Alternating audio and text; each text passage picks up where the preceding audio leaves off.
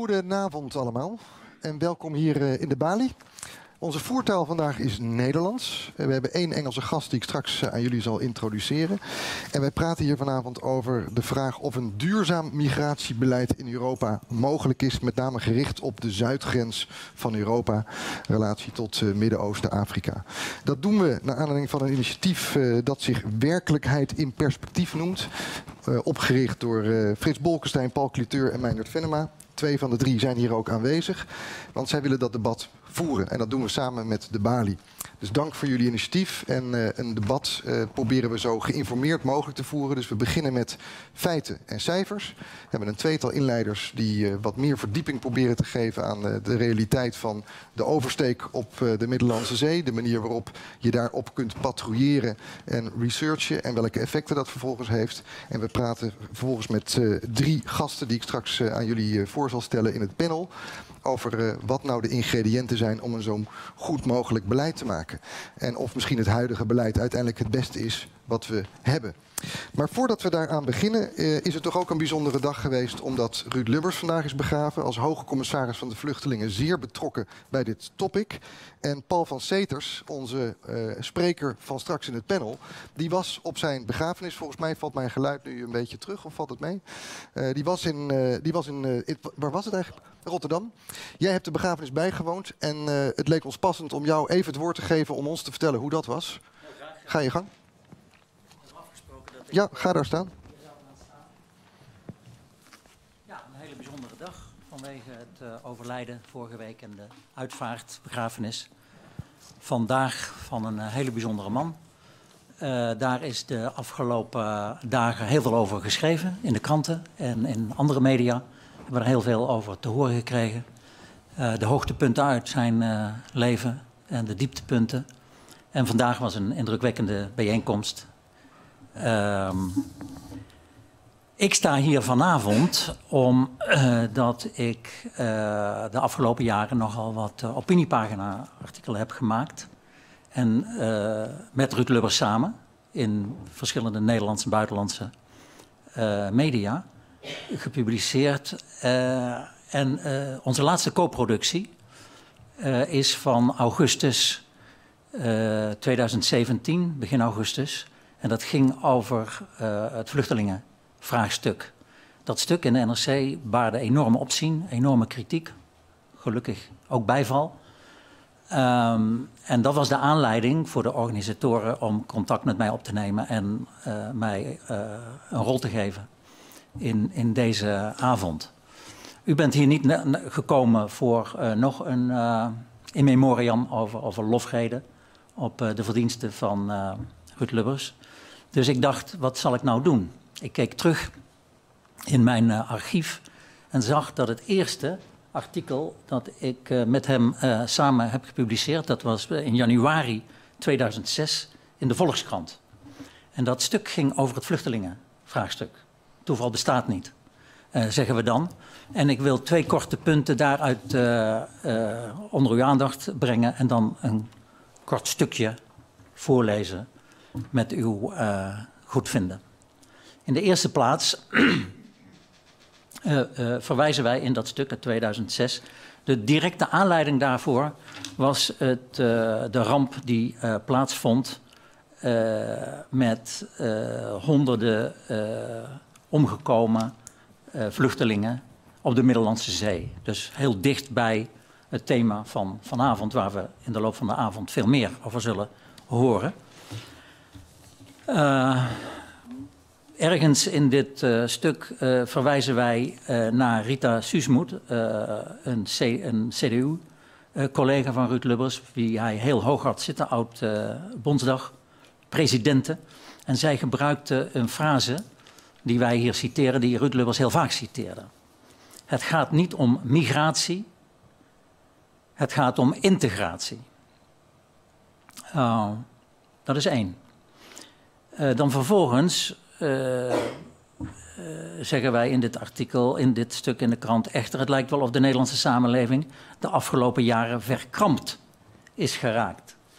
En verkrampt, dat idee dat de Nederlandse samenleving in een kramp was gekomen, was een typisch Ruud Lubbers woord. En alle herdenkingen is dat niet gevallen. Allerlei andere woorden die hij aan het Nederlands heeft toegevoegd wel. Verkrampt. En nou lees ik tenslotte uh, de laatste alinea voor. Ik doe dat in hopelijk in de geest van Ruud Lubbers, want hij hield zelf niet van grote woorden en van lofredes. Dus ook om die reden dacht ik, ik heb het gewoon over iets wat we samen geschreven hebben en wat helemaal ook zijn positie in dat migratiedebat uh, belichaamt. Eén alinea uit die tekst. Kern is participatie. Participatie in werk, in onderwijs, in de zorg, in de cultuur, in de sport. Maar hoe dan? Door al die minderheden aan te spreken op wat het betekent en vraagt om in Nederland te wonen, te werken, te leven. Maar ook door onszelf en de Nederlandse samenleving. Niet de regering, maar onze bedrijven. Dus niet onze regering, maar de Nederlandse samenleving, wij zelf, Nederlandse burgers. Onze bedrijven, onze verenigingen, onze scholen, onderwijsinstellingen, onze gezondheidszorg. Om de Nederlandse samenleving aan te spreken op die participatie en op de noodzaak dit in de praktijk te verwezenlijken. Dit schreven we twaalf jaar geleden en het is nu, 2018, relevanter, urgenter, noodzakelijk dan ooit. Dank u wel. Paul Zeters, dankjewel. Uh, je zult straks ook deel uitmaken van het panel. Fijn dat je ons eventjes uh, memoreerde hoe uh, Ruud Lubbers tegen dit onderwerp aankeek. En dat er in dat opzicht niet zo heel veel is veranderd ten opzichte van 2006.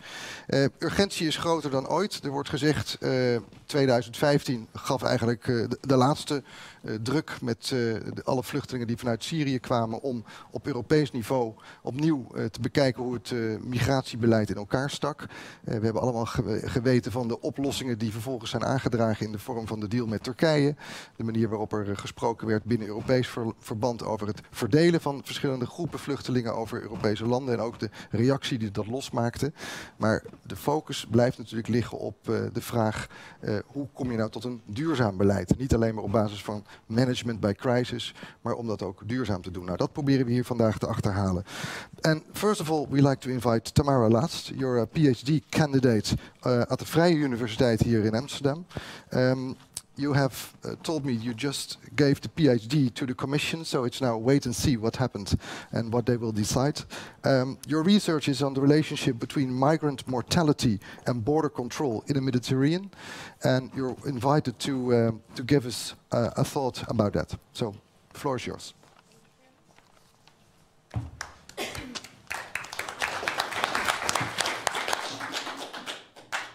Okay, so um, what I would like to do is rather than give you um, a lot of yes, not as tall as most Dutch people.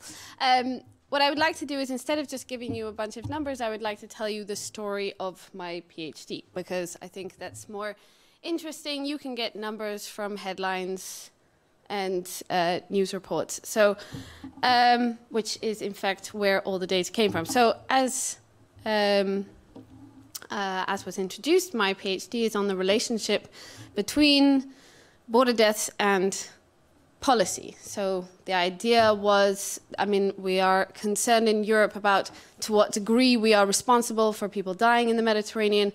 And in order to be able to build any kind of a human rights case or uh, establish any kind of accountability, we first have to understand how that relationship between policy and deaths actually works.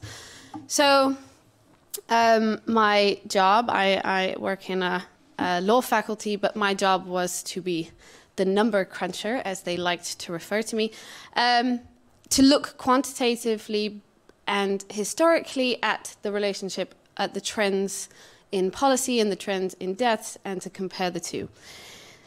So, unsurprisingly, as most PhD students do, they, I started by collecting data. Um, the reason I had to collect my own data was because the existing data was and still is uh, sourced from news reports. And, um, well, there are various reasons why news reports are not a reliable source of data for uh, uh, uh, for actually doing studies, although they are very useful sources for other means. They do not allow us to uh, the, there's all kinds of unreliabilities if you're getting your data from news reports. Um, and also because the different um, uh, sources of data, these are all sourced from news reports except for the deaths at the borders database, which is the line that runs at the bottom. Um, they showed different trends. So we needed a way to be able to explain that. So I started by collecting data. We went to um, I decided to change the order. We went to 567 municipalities in five countries Italy, Malta, Greece, Spain, and Gibraltar. Uh, we collected all traces of death records, so that includes coroner reports, but it also includes burial permits. If necessary, we went to the cemeteries, but we mostly focused on where the paperwork was held, so that's in municipality offices. Um, so we're, which is why we went to so many different municipalities. At every point, we kept trying to check whether or not, in fact, anybody had centralized this information. They hadn't. Um, that would have made our job a lot easier uh, if it had been uh, collected into one place, but in fact, it still remains all of this information in each municipality where the body is found or where the body is brought to. We made a database of 3,188 uh, individuals in the end, and we had two really big findings. One um, was the issue of identification. We already knew that a lot of um, the bodies that were being found were not being identified. It was an issue that had already been picked up on by some human rights lawyers. Um, but we didn't understand the extent of it. And when we collected the records and we made the database, we realized that in fact we're talking about two thirds of the bodies that are found are never identified. Um, that means that their families, their wives can't remarry, their children, the custody of their children cannot be passed on to another person, their property cannot be passed on to another person. Um, and it, apart from all the legal ramifications, there is also, of course, the issue of grieving and the process and the need for families to know what has happened.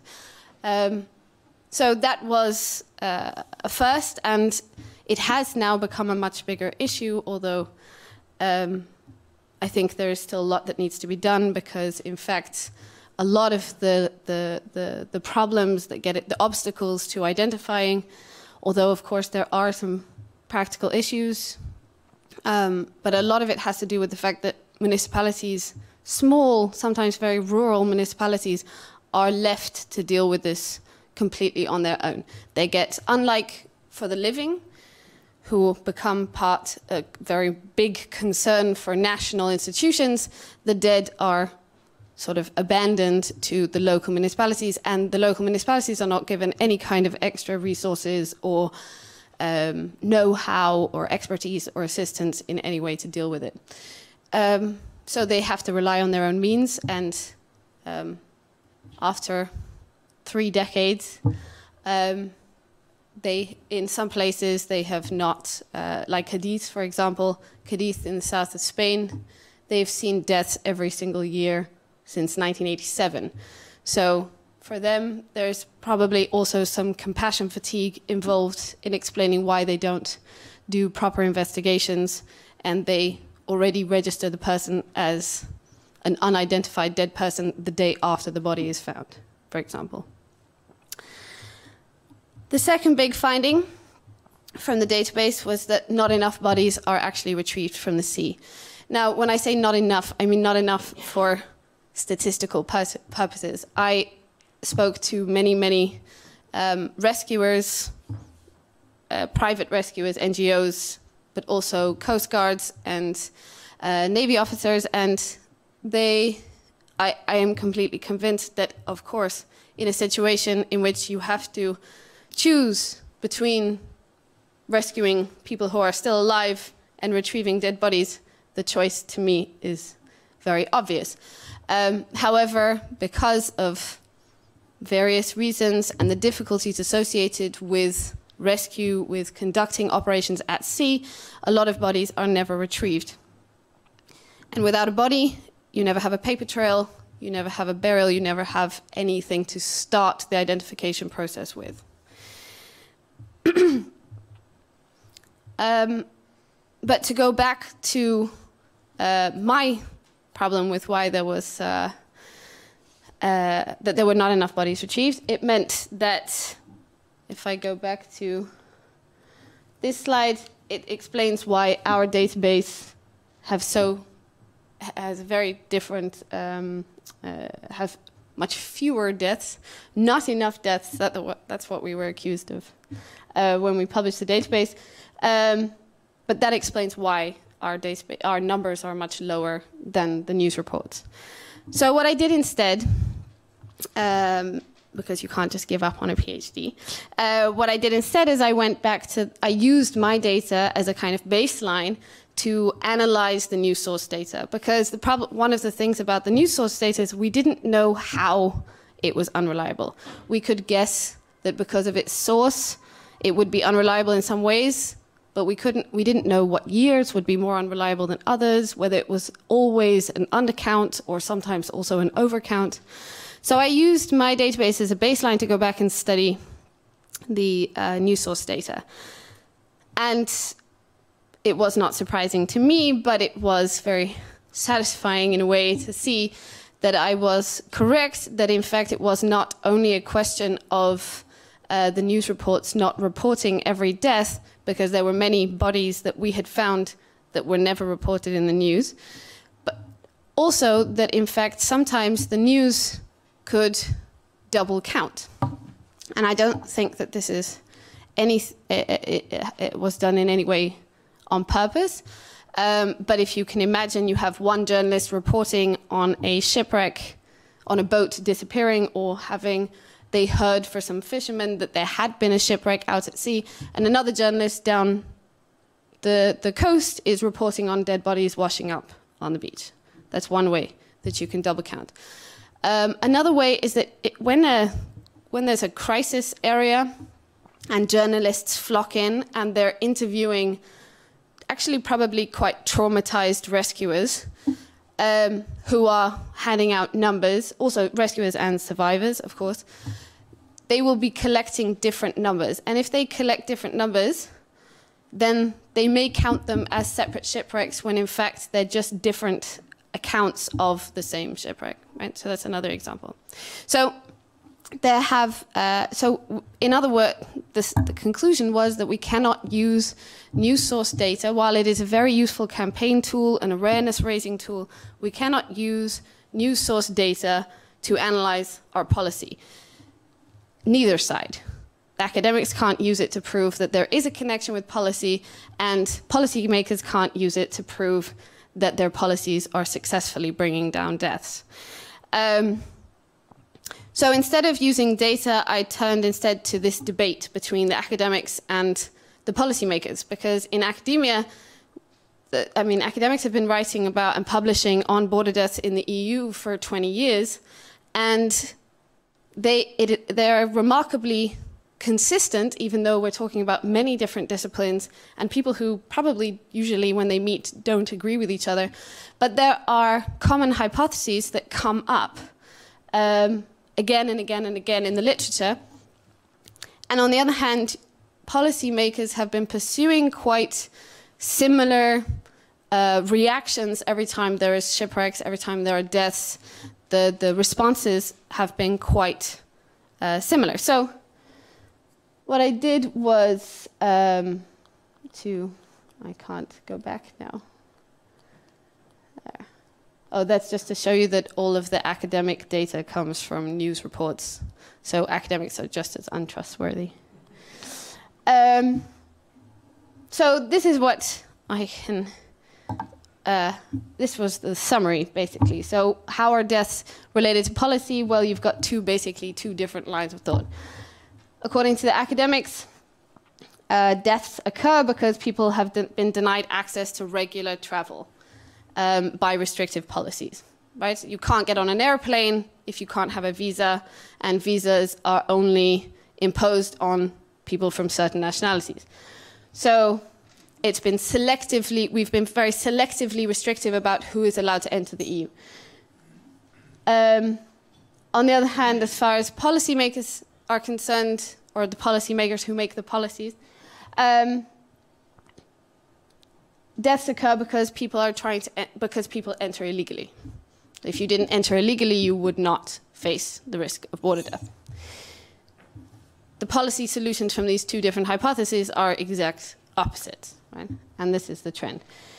The second hypothesis is that more deaths happen or deaths are increasing, which is a general idea, um, because border control, on the academic side, because border control is forcing people to take more risk, either by uh, taking more dangerous routes. So you intensify border control, for example, if you place lots of military in the Strait of Gibraltar, people don't leave, don't cross the Straits of Gibraltar, but they cross the Strait the sea, the Alboran Sea, or they cross the Atlantic to the Canary Islands, right? Um, another way is if you have an escalation between border control and uh, uh, and smugglers, because the smugglers are trying to wave, run away from the border control, and the border control are trying to catch them.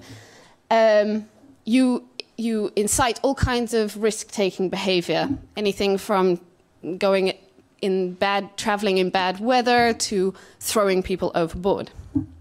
Um, or using unseaworthy boats because the smugglers know they're never going to see them again.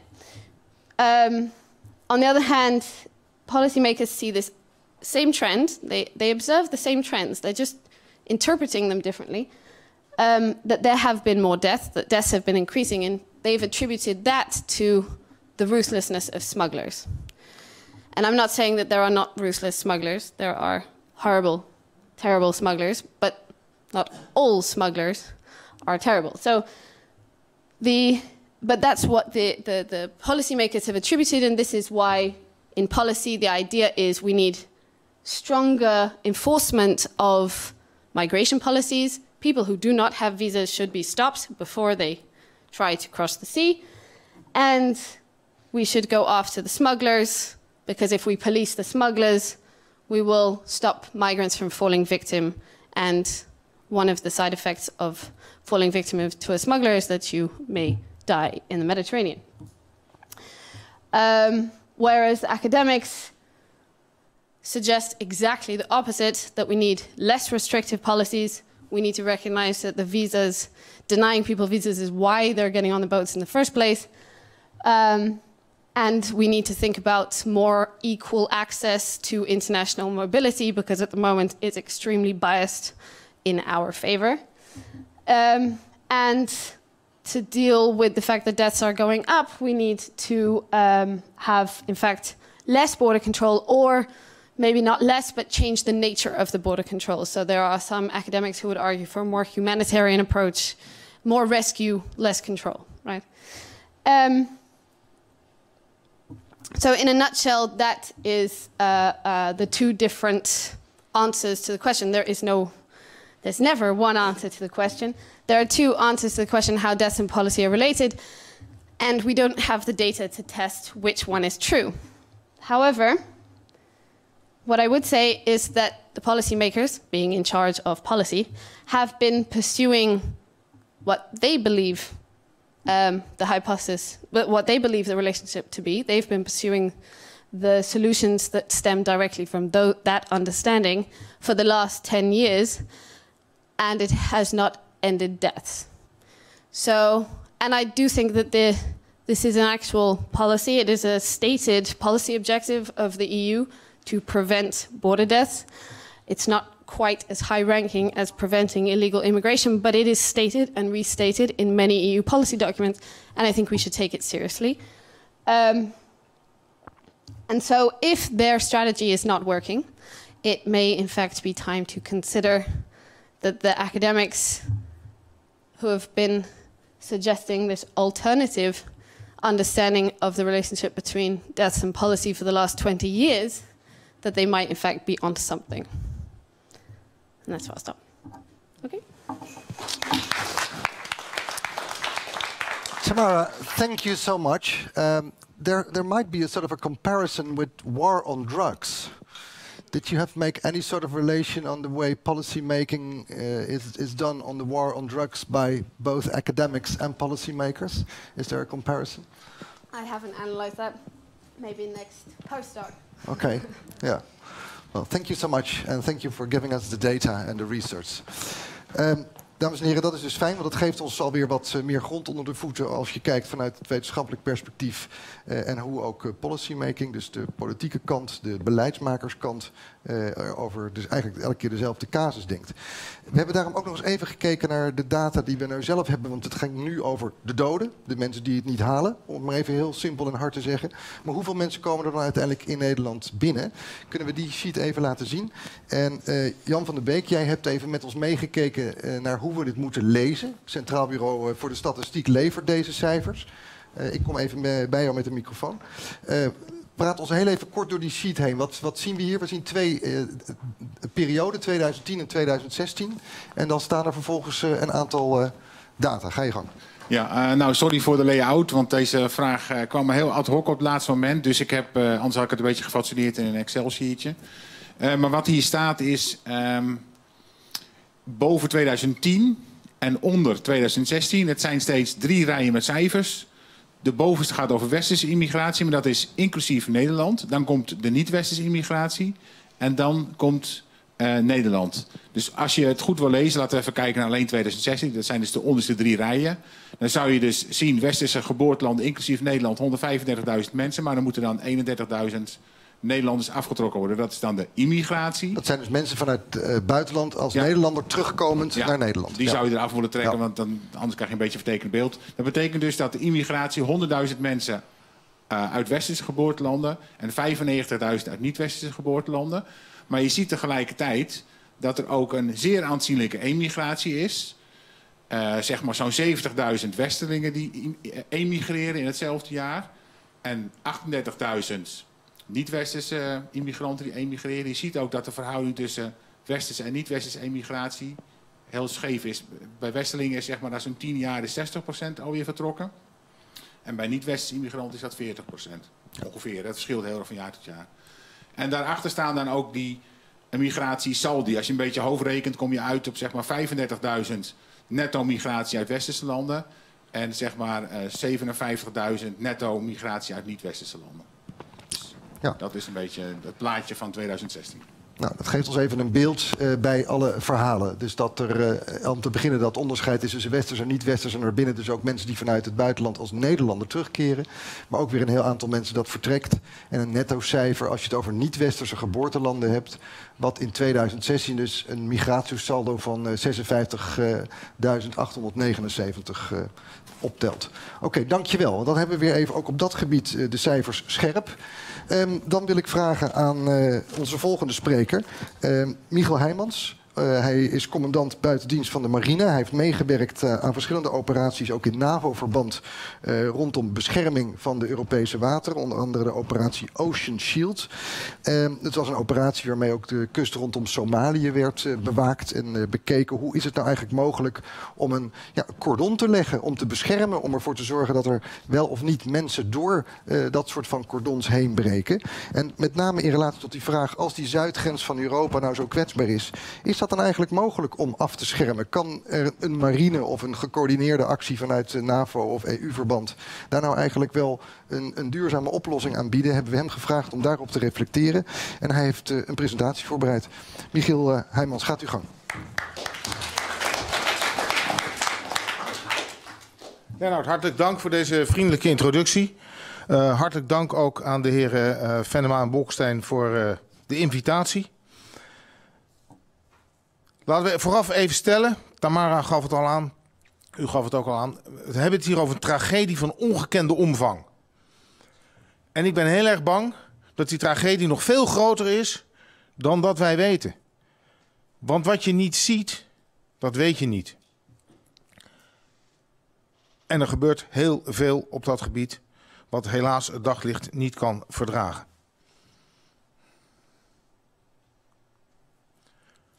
Wie van u heeft er wel eens gevaren? En wie van u heeft er wel eens langer dan 24 uur gevaren? Heeft er wel eens een nacht op zee doorgebracht? Dat zijn er nog heel wat. Heeft ook ergens iemand van u in de Middellandse Zee gevaren. Kijk, dat doet mij deugd. Dat geeft ehm, hopelijk ook wel iets meer begrip voor, voor mijn verhaal. Ehm, ik ga u meenemen naar, naar de Middellandse Zee en ik ga gewoon kijken van is het nou in mijn optiek mogelijk om iets te doen om te voorkomen dat die mensen ehm, Europa binnenkomen. Ik gebruik daarvoor onder andere mijn ervaring inderdaad uh, bij Somalië, uh, waar ik uh, de leiding heb mogen geven aan de NAVO-operatie Ocean Shield. Maar dat was om te beschermen tegen piraten. Maar daar kwamen we ook heel veel vluchtelingen tegen. In de Golf van Aden, tussen Somalië en Jemen, bijna dagelijks mensonterend bootjes vol met mannen, vrouwen, kleine kinderen. En wij hadden geen enkel mandaat. We hadden geen enkel politiek mandaat om er iets aan te doen. Behalve als de mensen in acute nood verkeerden. Want dan ben je gewoon verplicht om er iets aan te doen. Maar als je mensensmokkelaars ziet varen met een boot vol met vluchtelingen. Dan mag je daar, wij mochten daar op dat moment niets aan doen. En er zijn best een aantal uh, parallellen te trekken tussen het verhaal van de piraterij en het verhaal wat ik u nu ga vertellen. De foto die je hier ziet is, um, zijn er Majesteits van Amstel, een van de Nederlandse marineschepen. Die hebben zojuist een aantal vluchtelingen opgepikt die daar op het dek zitten. Um, gewassen, gevoed, uh, vaak ook gekleed. Uh, maar u zult ervan uit kunnen gaan, dergelijke schepen zijn daar natuurlijk eigenlijk niet voor ontworpen. Eigenlijk zijn heel veel schepen niet ontworpen, ook koopvaardijschepen niet, om vluchtelingen op te vangen. Over welk gebied hebben wij het? De Middellandse Zee. Nou, een aantal mensen kent de Middellandse Zee uit eigen ervaring, omdat ze daar rondgevaren hebben. Een aantal andere mensen kennen natuurlijk ook de Middellandse Zee. Maar als je het zo ziet, dan lijkt het misschien niet zo'n enorm zeeoppervlak, maar het is verschrikkelijk groot. Feiten over de Middellandse Zee. 2,5 miljoen vierkante kilometer. Dat is een waanzinnige lap water. Enorme omtrek. 600 kilometer breed. En meer, bijna 4000 kilometer lang. Ga er maar aan staan. En begrensd door 21 landen. Landen met allemaal eigen belangen, eigen ideeën, eigen regeringen. Ja, wij zijn één EU. Nou, u kunt daar misschien meer over vertellen dan ik, of wij één EU zijn. Maar helaas zitten we lang niet allemaal op dezelfde lijn. Terwijl zeker om dit soort problemen aan te pakken, dat eigenlijk wel zou moeten. De bevolking van Afrika zal de komende decennia enorm toenemen, enorm gaan groeien. Ja, er is veel armoede daar, maar er zijn ook heel duidelijk verbeteringen. Maar die verbeteringen willen zeggen dat heel veel mensen uh, gelukkig de ellende kunnen overleven, ook een, een zekere langere levensverwachting hebben. Maar het betekent niet altijd dat als de levensstandaard omhoog gaat, dat er dan minder mensen zullen gaan migreren. Dat is absoluut aangetoond dat dat niet zo is. En de Middellandse Zee is van toenemend strategisch belang. Denk alleen al aan Syrië, Libanon, alles wat daar gebeurt. Maar ook de toegang naar de Zwarte Zee. En natuurlijk hè, de Sea Lines of Communication. Heel veel schepen die in Rotterdam aankomen, komen uit de Middellandse Zee, uit het Suezkanaal. Even een ander kort plaatje, en er zijn veel van deze plaatjes. Met een aantal uh, routes waarlangs uh, vluchtelingen, migranten naar Europa komen. Heel veel vluchtelingen binnen Afrika. Ook natuurlijk de route via Turkije, Griekenland. Maar we kennen natuurlijk allemaal de routes via Libië, maar ook Tunesië, Algerije, Marokko. Dit zijn er maar een aantal. Maar het geeft wel aan hoe gecompliceerd het is om een dergelijk probleem aan te pakken.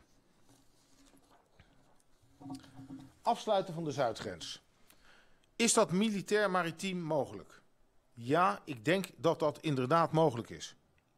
Maar. En er komen een aantal maren en daar zal ik u kort uh, mee doorheen nemen. Gaan we eerst hebben over welke grens wil je eigenlijk afsluiten. We hebben het vaak over het afsluiten van de zuidgrens van Europa. Die zuidgrens, wat ik al zei, is enorm. Daar gebeurt heel veel. Dat is een taak voor vooral kustwachten. Um, maar ook heel veel andere. Het is een zaak van samenwerken. Mijn stelling zou zijn dat het effectiever zou zijn en efficiënter, maar vooral effectiever, om te gaan kijken hoe je de zuidgrens van Afrika, de, sorry, de noordgrens van Afrika zou kunnen afsluiten. We hebben dat ook bij Somalië gedaan, ik zal het daar ook even laten zien. Maar eigenlijk moet je het probleem zoveel mogelijk proberen aan te pakken waar het vandaan komt. En als je daarnaar zou kijken, dan zou je het probleem eigenlijk niet eens op zee moeten aanpakken, maar je zou het probleem ver daarvoor moeten kunnen aanpakken. Maar daar ga ik niet over, daar ben ik niet van. Ik kijk naar het probleem op zee. Want wat we doen met z'n allen, met de NGO's, is eigenlijk symptoombestrijding. En de root causes, zoals het altijd zo mooi heet, die liggen natuurlijk heel ergens anders. En dat is wel iets waar we ook naar zouden moeten kijken en waar ook wel degelijk naar gekeken wordt. Taak afsluiten van de Noordgrens, dat is een stuk verder um, van Europa af. Dat is echt een taak voor marines, maar ook weer voor anderen. Heel kort het plaatje bij Somalië. Hier is Somalië, de grens. Dit is Somalië. Alle groene stipjes zijn uh, kleine dorpjes aan de kust. En waar wij achter waren, dit zijn de, de groene gearseerde gebieden waar die piraten heel actief waren. En die gele pijlen, dat zijn de routes waarmee zij naar die gebieden toe gingen. En wat we daar gedaan hebben, is we zijn pal voor de piratenkampen gaan liggen met een aantal schepen. En hebben fysiek met die schepen die piraten tegen kunnen houden om naar buiten te komen. Maar ik ga niet met u praten over piraterij, ik ga praten over het vluchtelingenprobleem. Maar iets dergelijks zou je je ook kunnen voorstellen in de Middellandse Zee. Je kunt de hotspots zo goed mogelijk identificeren. Een aantal heb ik hier aangegeven voor u. En als je die hotspots zou kunnen afsluiten met een aantal maritieme eenheden, met een aantal luchteenheden, want ook hier geldt, wat je niet ziet, dat weet je niet. Dus je moet zorgen dat je dingen ziet. Maar als je die hotspots zou kunnen afsluiten, dan voorkom je in ieder geval dat er allerlei vreselijk zware en moeilijke levensgevaarlijke um, oversteken worden gewaagd. Want daar gaat het zo vaak mis. Tijdens die oversteek. Want het is een enorme oversteek die ze moeten maken. In slecht weer. Gabbele bootjes. Tamara gaf het al aan. Dus je zou eigenlijk moeten voorkomen dat mensen dat gaan doen. Dus de noordgrens van Afrika proberen af te sluiten. Nou, wat zou een mogelijke modus operandi daarin zijn? Um, wat ik al zei, je moet weten wat er gebeurt. Dus je treedt op naarmate je informatie hebt. We hebben heel vaak gezien, ook tijdens de Koude Oorlog, dat we allemaal aan het patrouilleren waren in die enorme grote zee. En ja, dan kom je af en toe wat tegen. Maar het is het allerbelangrijkste om van tevoren te weten waar de mensen de zee opgaan vanuit welke plekken en te zorgen dat je daar bent en daar op te treden. We noemen dat met een mooi uh, maritiem woord sea-basing. Je legt een aantal schepen voor de kust, die als een soort basis op zee. En ik zal dadelijk laten zien, u ziet hier al één plaatje van een schip wat daar heel goed toe in staat is.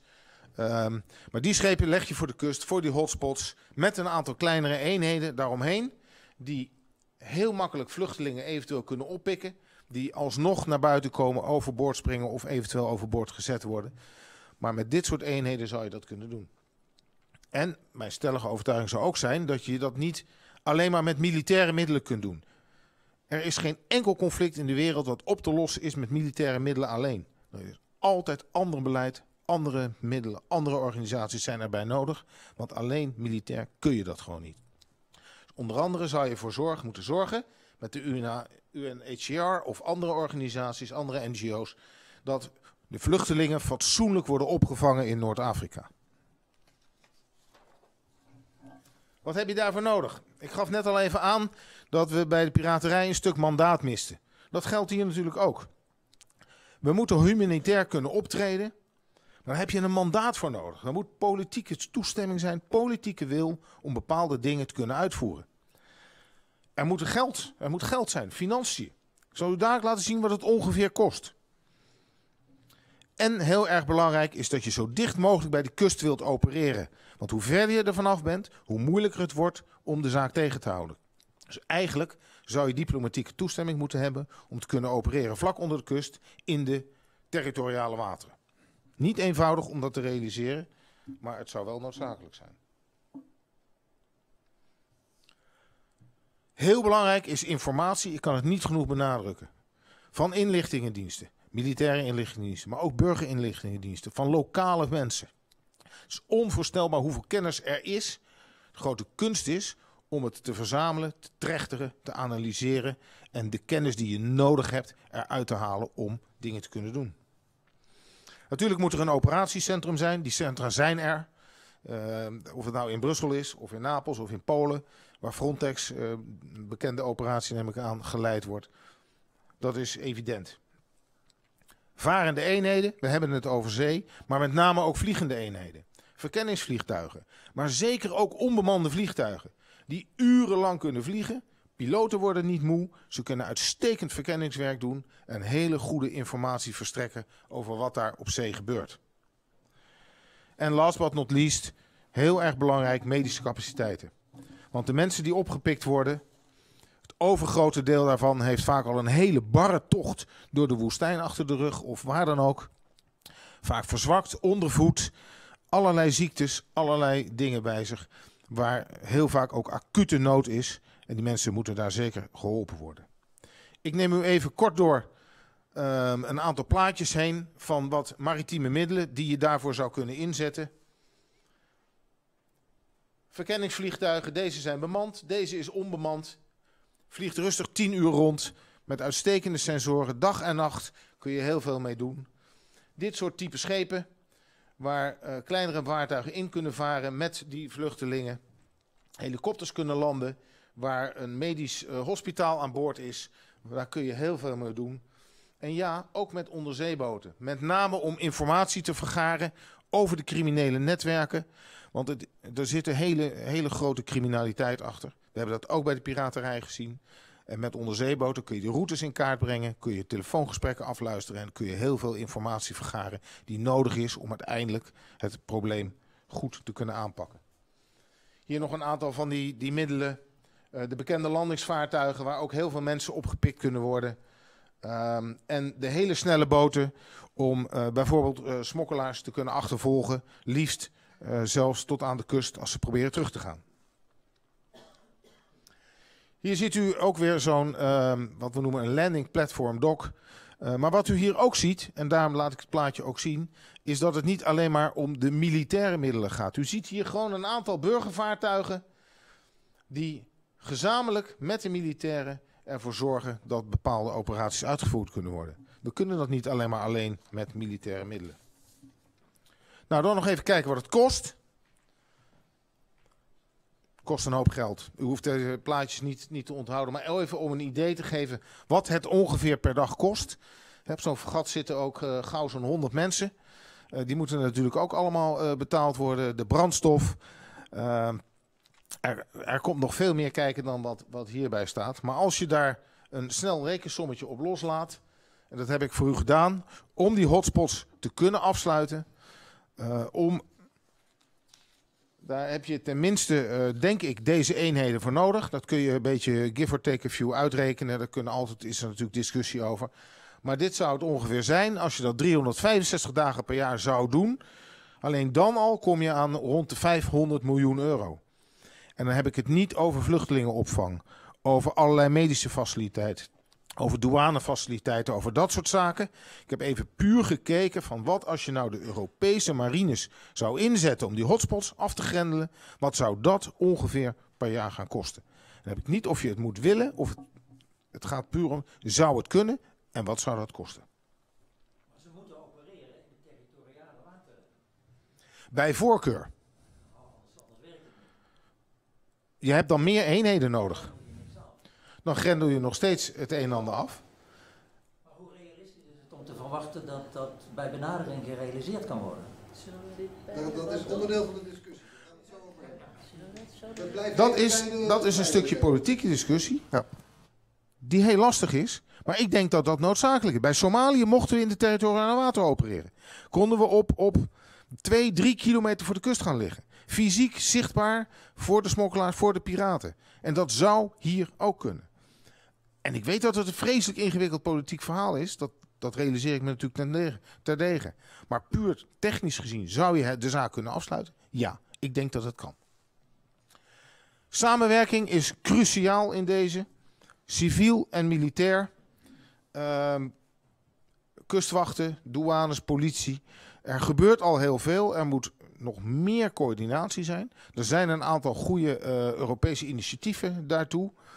Uh, onder andere Frontex is zo'n operatie om de buitengrenzen van de EU te beveiligen. Ik denk dat je een stapje verder zou moeten gaan en moeten proberen de noordgrens van Afrika aan te pakken. En natuurlijk met alle NGO's die er zijn, de International Organization for Migration, um, de International Maritime Organization, de International Chamber of Shipping. Al die organisaties werken voor een deel al samen. Ik denk alleen dat dat nog beter zou kunnen. Ter afronding. Afsluiten. Noord-Afrika. In theorie is het mogelijk. Daar ben ik van overtuigd. Daarvoor is nodig een goede politieke besluitvorming. Dat er een goed mandaat is. En toestemming van andere landen om bepaalde dingen daar te mogen doen. Als ze het zelf niet aan kunnen pakken. Gecoördineerde maritieme inzet. Dus niet alleen militaire, maar veel breder en verder dan dat.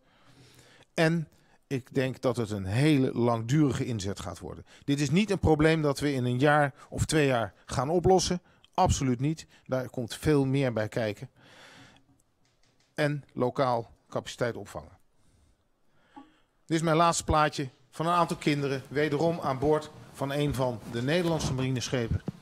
Die in de rij staan voor wat te eten en wat water. Het is mensonterend als je dat allemaal ziet. Je krijgt er echt tranen van in je ogen. En alleen daarom al denk ik dat het ongelooflijk belangrijk is dat we er met z'n allen wat aan doen. Dank u wel. Uh, Michiel Heijmans, heel erg bedankt voor deze toelichting. Uh, het is natuurlijk belangrijk uh, om in dit soort van gesprekken gewoon naar feitelijke opties, mogelijkheden te kijken. Dat zijn uiteindelijk politieke afwegingen. En er werd al terecht door u opgemerkt. Het lost niet de root causes van het probleem op. Daarvoor moet je in Afrika zelf zijn. Dan moet je met de landen zelf ook in overleg. Dan moet je ook de problemen, de oorzaken wegnemen. Dat is een andere discussie dan die we hier vanavond voeren. Maar toch even, Tamara heeft wel door haar onderzoek duidelijk gemaakt. Stel dat we dit nou gaan doen. Dan ga je harder duwen. Je gaat dus meer policy op het gebied van die bewaking van die kuststrook zetten levert dat, mede door haar onderzoek, toch ook wel aangetoond, juist niet meer ellende op. Dat mensen alternatieve sluiproutes gaan bewandelen, nog meer risico nemen, het slechte weer afwachten en dan proberen over te steken. Dat is waar zij voor waarschuwt. Ik denk dat dit niet het enige is wat je zou moeten doen. Dit zou je kunnen doen. Maar je moet daar flankerend beleid op toepassen. Je moet daar die vluchtelingenopvang hebben. Want als die mensen geen enkele uitweg zien dan gaan ze natuurlijk naar de overkant. Absoluut, ze zullen het proberen. En het is vaak net een ballon. Je knijpt er hierin en daar gaat, gebeurt het weer. Daarom is het ook van belang dat je continu goede informatie hebt. Wat er gebeurt op het land. Waar de vluchtelingen naartoe gaan. Waar de vaartuigen klaar liggen om die mensen aan boord te nemen en mee te nemen. Je zou ook kunnen denken aan het onklaarmaken van die vaartuigen. Ook dat hebben we bij Somalië gedaan. Met speciale eenheden van het Corps Mariniers en commandotroepen. Hebben we vaak ook s'nachts een aantal vaartuigen waarvan we het sterke vermoeden hadden dat die binnen één of twee dagen wel eens zouden kunnen gaan uitvaren. Die kun je gewoon redelijk uh, eenvoudig in het stiekem onschadelijk maken. Ook dat is een manier om ervoor te zorgen dat ze geen eens van de wal afkomen. Dat is ook niet allemaal makkelijk te doen. Gaat zeker ook uh, met diplomatieke uh, zaken gepaard. Want dan kom je op het terrein van Libië, Algerije, Tunesië. Hoe doe je dat? Kun je dat wel doen? Uh, hebben we daar een resolutie van de Veiligheidsraad voor nodig, wellicht, om te doen? Maar dit soort mogelijkheden zijn er wel. Ja.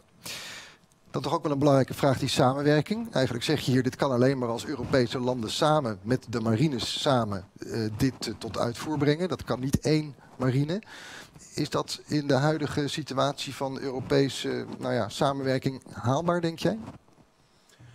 Um, we zien dat er enorme sprongen voorwaarts worden gemaakt. Als ik zie hoe de Europese Unie samenwerkt voor een operatie als Atalanta, dat is het bestrijden van piraterij. Uh, maar ook in uh, wat eigenlijk misschien nog belangrijk is, de capability missie EUCAP Nestor. Die ervoor uh, bedoeld is om ervoor te zorgen dat in Kenia, Tanzania, Seychelles, Mozambique, maar ook in Somalië zelf de capaciteit wordt opgebouwd, zodat ze zelf een rule of law, law and order en enforcement kunnen plegen, ehm, dan denk ik dat we al een heel eind op weg zijn. Het is lastig. De Europese Unie heeft recent een Europese maritieme veiligheidsstrategie afgekondigd. Met een action plan met 150 gewoon heldere punten, concrete punten die afgewerkt moeten worden. Er zitten er ook een aantal bij die met migratie te maken hebben. Dat soort zaken. ehm, ja, het is een weg van een hele lange adem. Maar ik denk dat er absoluut mogelijkheden zijn. Maar ik kijk wel even naar iemand die eh, daar dichterbij zit dan ik. Ja, komen we denk ik zo op terug. Eén of twee verduidelijkingsvragen onder de aanwezigen. Dat u zegt, ik wil nog even feitelijk weten van deze meneer die er veel van weet, hoe dit of dat zit. Wie? Ja, kom ik eh, bij u en bij u. Zeg even wie u bent. Joop Veldhuis. Ja. Eh, ehm, als je die mensen dus, eh, als je dus die havens afsluit, dan moet je die mensen die je oppakt, die moet je natuurlijk weer op het land eh, zetten. Hoe gaat het dan? Of haalt de kustwacht ze op of zo? Of zetten jullie ze zelf weer op het land? De Veldhuis is een, een hele goede vraag. Ehm, met de schepen die ik heb laten zien, die van die kleine landingsvaartuigen bij zich hebben. Met die landingsvaartuigen zou je de mensen gecontroleerd terug kunnen brengen naar het strand. Maar dan moet je wel zorgen dat daar opvang is. En die coördinatie moet je hebben. We hebben dat ook gedaan overigens ehm, in de Golf van Aden, waar we geen mandaat hadden. Maar als we vluchtelingen naar de overkant zijn gegaan, hebben we altijd de VN-vluchtelingenorganisatie geïnformeerd. Er gaat een boot met zoveel mensen die kant op. En dan zorgden zij dat ze op het strand stonden of met kleine bootjes in het water waren. Om in ieder te voorkomen dat de mensen gewoon overboord gegooid zouden worden. En er was dan opvang op het strand. Dus als je dat goed coördineert, dan is dat mogelijk. Je moet niet alleen maar, hup, terug op het strand, zoek het uit. Nee, er moet daar ook iets geregeld zijn. Anders moet je er niet aan beginnen.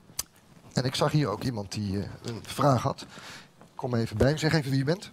Ehm, Sebastian van Seters. Ja. Ehm, het bedrag van 500 miljoen, eh, waar in een van de laatste slides eh, werd getoond. Is dat per een van de 14 punten waar, eh, waar ook over werd gesproken? Of is dat voor de hele kust? Nou, dat is het bedrag voor het totaal eh, van schepen wat ik heb laten zien. Voor de zeven belangrijkste, op dit moment, belangrijkste hotspots.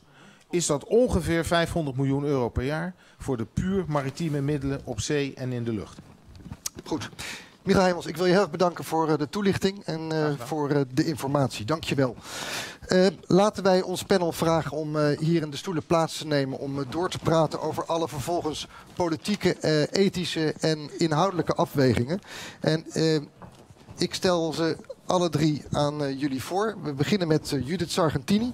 Zij zit op de meest linkerstoel. Zij is eh, een Nederlands politicus namens GroenLinks al twee termijnen in het Europees Parlement. Nou, daar gaat nog even een microfooncorrectie plaatsvinden.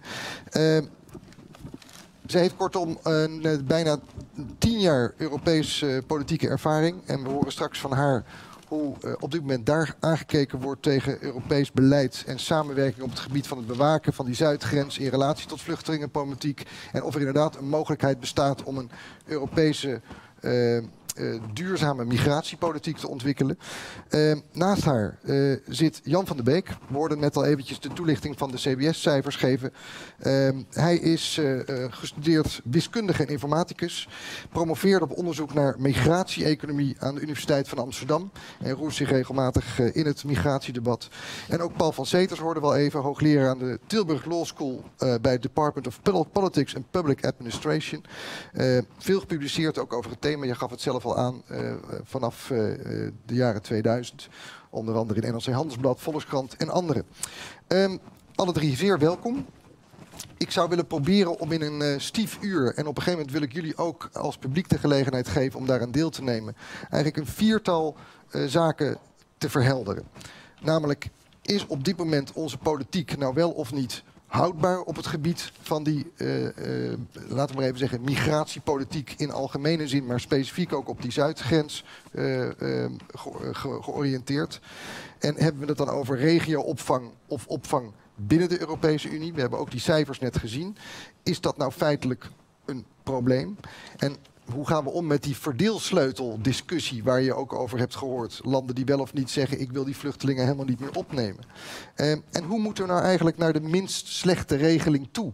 Eh, als we de ingrediënten, gedeeltelijk nu ook al aangereikt door onze sprekers, eh, in beeld brengen. En nogmaals, we hebben ook een discussie te voeren over de root causes. Maar ik denk niet dat het heel veel zin heeft om die discussie nu vier vanavond te voeren. Dat is een veel bredere discussie. We hebben het gewoon over de feitelijke situatie die we nu eh, zien. Die niet, of in ieder geval voor de kortstondige termijn niet duurzaam lijkt te worden opgelost. Uh, maar ik hoor dat graag van jullie terug. Misschien hebben jullie juist ook wel een heleboel oplossingen voor die root causes die we kunnen betrekken in de discussie. Mag ik met jullie Sargentini beginnen? Want uh, je hoorde al even de uh, verwijzing ook naar uiteindelijk politieke beslissingen die bijvoorbeeld moeten worden genomen als je aanwijzingen, ideeën krijgt vanuit defensie, vanuit de mogelijkheden die je zou kunnen hanteren om in ieder geval die mensonterende oversteken op een andere manier te organiseren. Wat, wat vind je daarvan? Nou, laat ik om te beginnen zeggen dat ik het ingewikkeld vind om een gesprek te voeren over duurzaam migratiebeleid als je het niet over root causes hebt. Dus ik zal dat er toch zo hier en daar proberen in te fietsen. Omdat ik niet denk dat je uh, ik, denk, ik, denk, dat we nu namelijk een verhaal gehouden hebben over het tegenhouden van mensen. En een verhaal gehoord hebben van Tamara over de consequentie van dat beleid. Ja. En dat heeft dus niks, dat is, dat is aan zich al niet duurzaam. Je moet eigenlijk naar een beleid waarbij je het niet meer gaat over het uh, mensen tegenhouden, maar uh, migratie in banen leiden. Ja. Maar dan het, het, verhaal zoals we dat net gehoord hebben. Kijk, ik, heb zelf een enorme uh, uh, bewondering en waardering voor uh, wat marine op de Middellandse Zee doet. Ik mocht een keer mee met een, met een Italiaans maritiem fregat.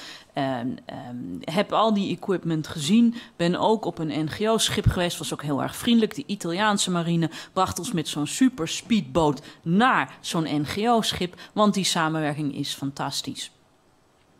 Uh, ze zijn daar trouwens niet alleen maar voor het uh, patrouilleren van de zee om mensen te redden, maar ook omdat Italië hele grote oliebelangen heeft in die Libische zee.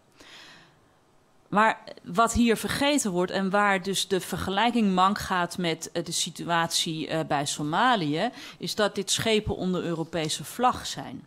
En ik denk dat als die vluchtelingen die vanaf Somalië naar Jemen probeerden te komen, zich hadden gerealiseerd dat als zij in nood waren gekomen naast dat schip met een Europese of een Nederlandse vlag, dat ze dan gered zouden zijn door dat schip, op dat schip gehezen zouden worden en dan asiel hadden mogen aanvragen in Nederland alle suggesties die gaan over het verder afgrendelen van de Middellandse Zee door onze eigen mensen, stuiten op een probleem wat, wat wat, waar, waar anderen weer van zeggen, ja, en daarom moeten we de uh, internationale verdragen omgooien. Maar stuit op het feit dat mensen recht hebben op het aanvragen van asiel. En dat is ook maar goed ook.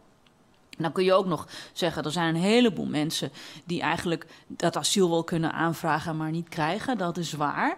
Maar ik denk dat, dat het ga, als, je ga, als je zoekt naar duurzame oplossingen, dat je moet proberen uh, te onderscheiden wie er in die bootjes stapt, met welke redenen. En dan proberen per zo, per reden een andere mogelijkheid te geven voor deze mensen voor een bestaan ergens of om veilig wel in Europa te komen. Maar met equipment op de Middellandse Zee van onze kant werkt niet. Waarom heeft Italië uh, uh, uh, ondershands militia betaald in Libië? En waarom traint de Europese kustwacht de Libische kustwacht? Dat is omdat als die kant zijn eigen grens bewaakt, en dat werd ook al even gesuggereerd, dan heb je dat dat dilemma heb je niet. Um, maar wat is de consequentie van het trainen? En, en dat gebeurde vroeger ook. Hè? Berlusconi betaalde Gaddafi uh, tot aan de val van Ben Ali in Tunesië had uh, de Tunesische kustwacht een hele stevige controlerende taak en konden uh, Tunesische jonge mannen niet vertrekken. En wat zag je op het moment dat, de Tunes dat in Tunesië de chaos compleet was bij de val van Ben Ali? Je zag veel Tunesische jonge mannen op keurige zeewaardige schepen naar Europa komen, naar Italië, om door te reizen naar Parijs. Wat zie je zo snel als je dichterbij uh, hebt? Wat wordt NGO's verweten?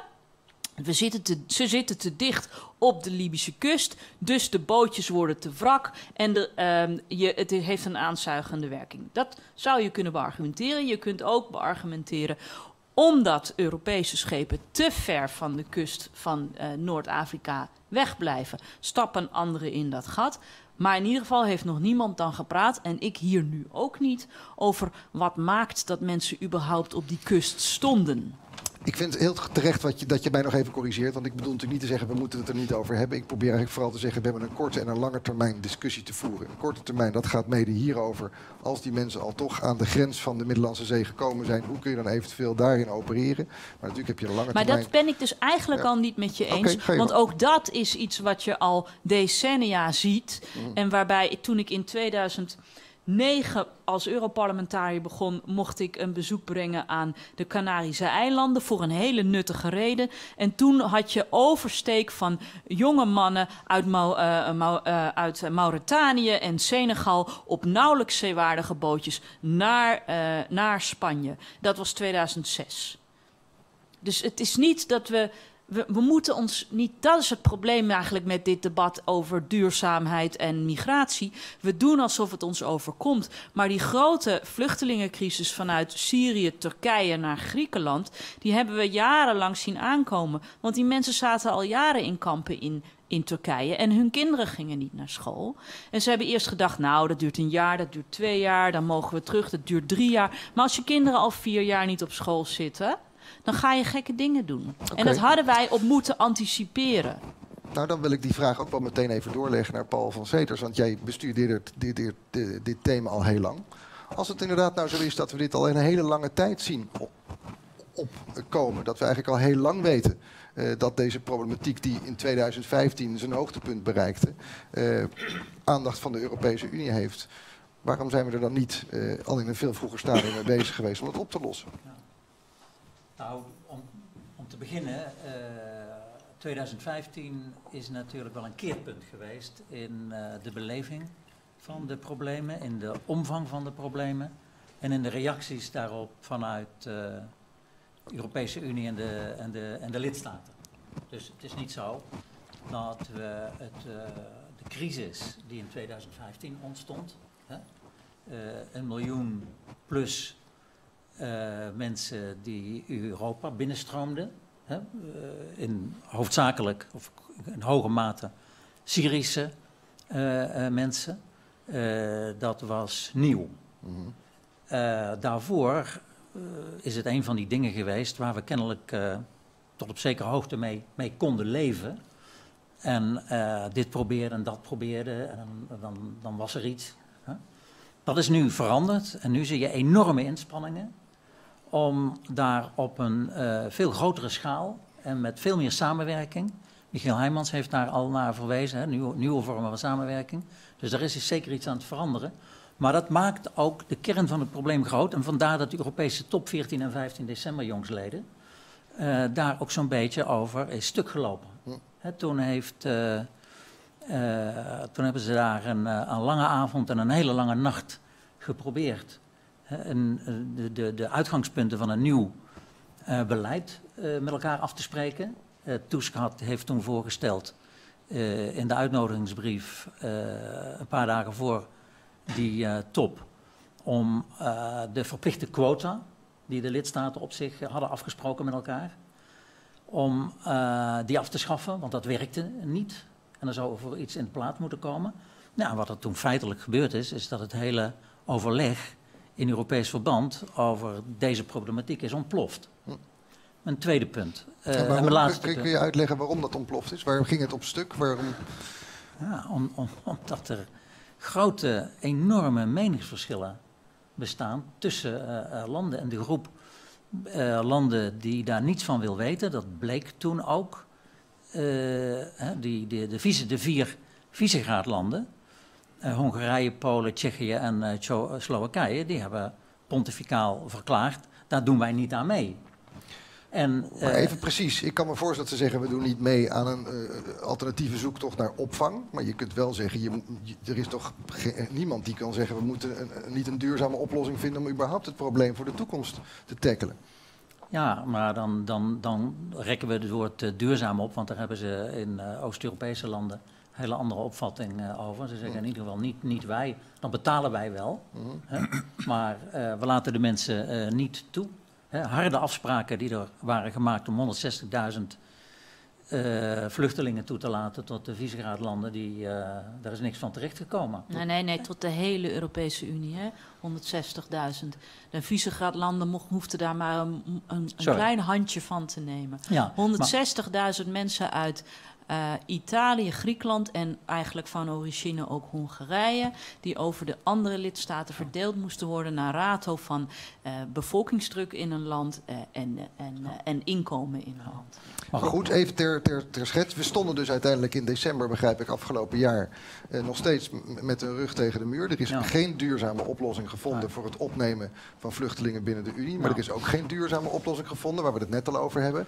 om een strategie te ontwikkelen om die root causes aan te pakken. Ja, maar er is nog een, eh, die, die, die root causes, dat is ook een, een heel wezenlijk punt. Dus daar moet ook zeker a- ook in deze eh gedachtenwisseling aandacht aan besteed worden. Maar nog even iets anders. Ook naar aanleiding van de presentatie van Michiel Heijmans... eh, zie ik voortdurend verwijzingen naar vluchtelingen en naar migranten. Door elkaar En- heen. Hè? Door elkaar heen. Door elkaar heen. Ja. En, en dat is natuurlijk een enorm probleem, omdat er eh, wat, wat vluchtelingen zijn... dat wordt bepaald door het eh, VN-vluchtelingenverdrag eh, 1951. En alle jurisprudentie eh, die daar aan is gewijd in, in rechtszaken sindsdien. Dat vluchtelingenverdrag is ook een aantal keren van nieuwe bepalingen voorzien, maar dat noemen we dan het vluchtelingenverdrag.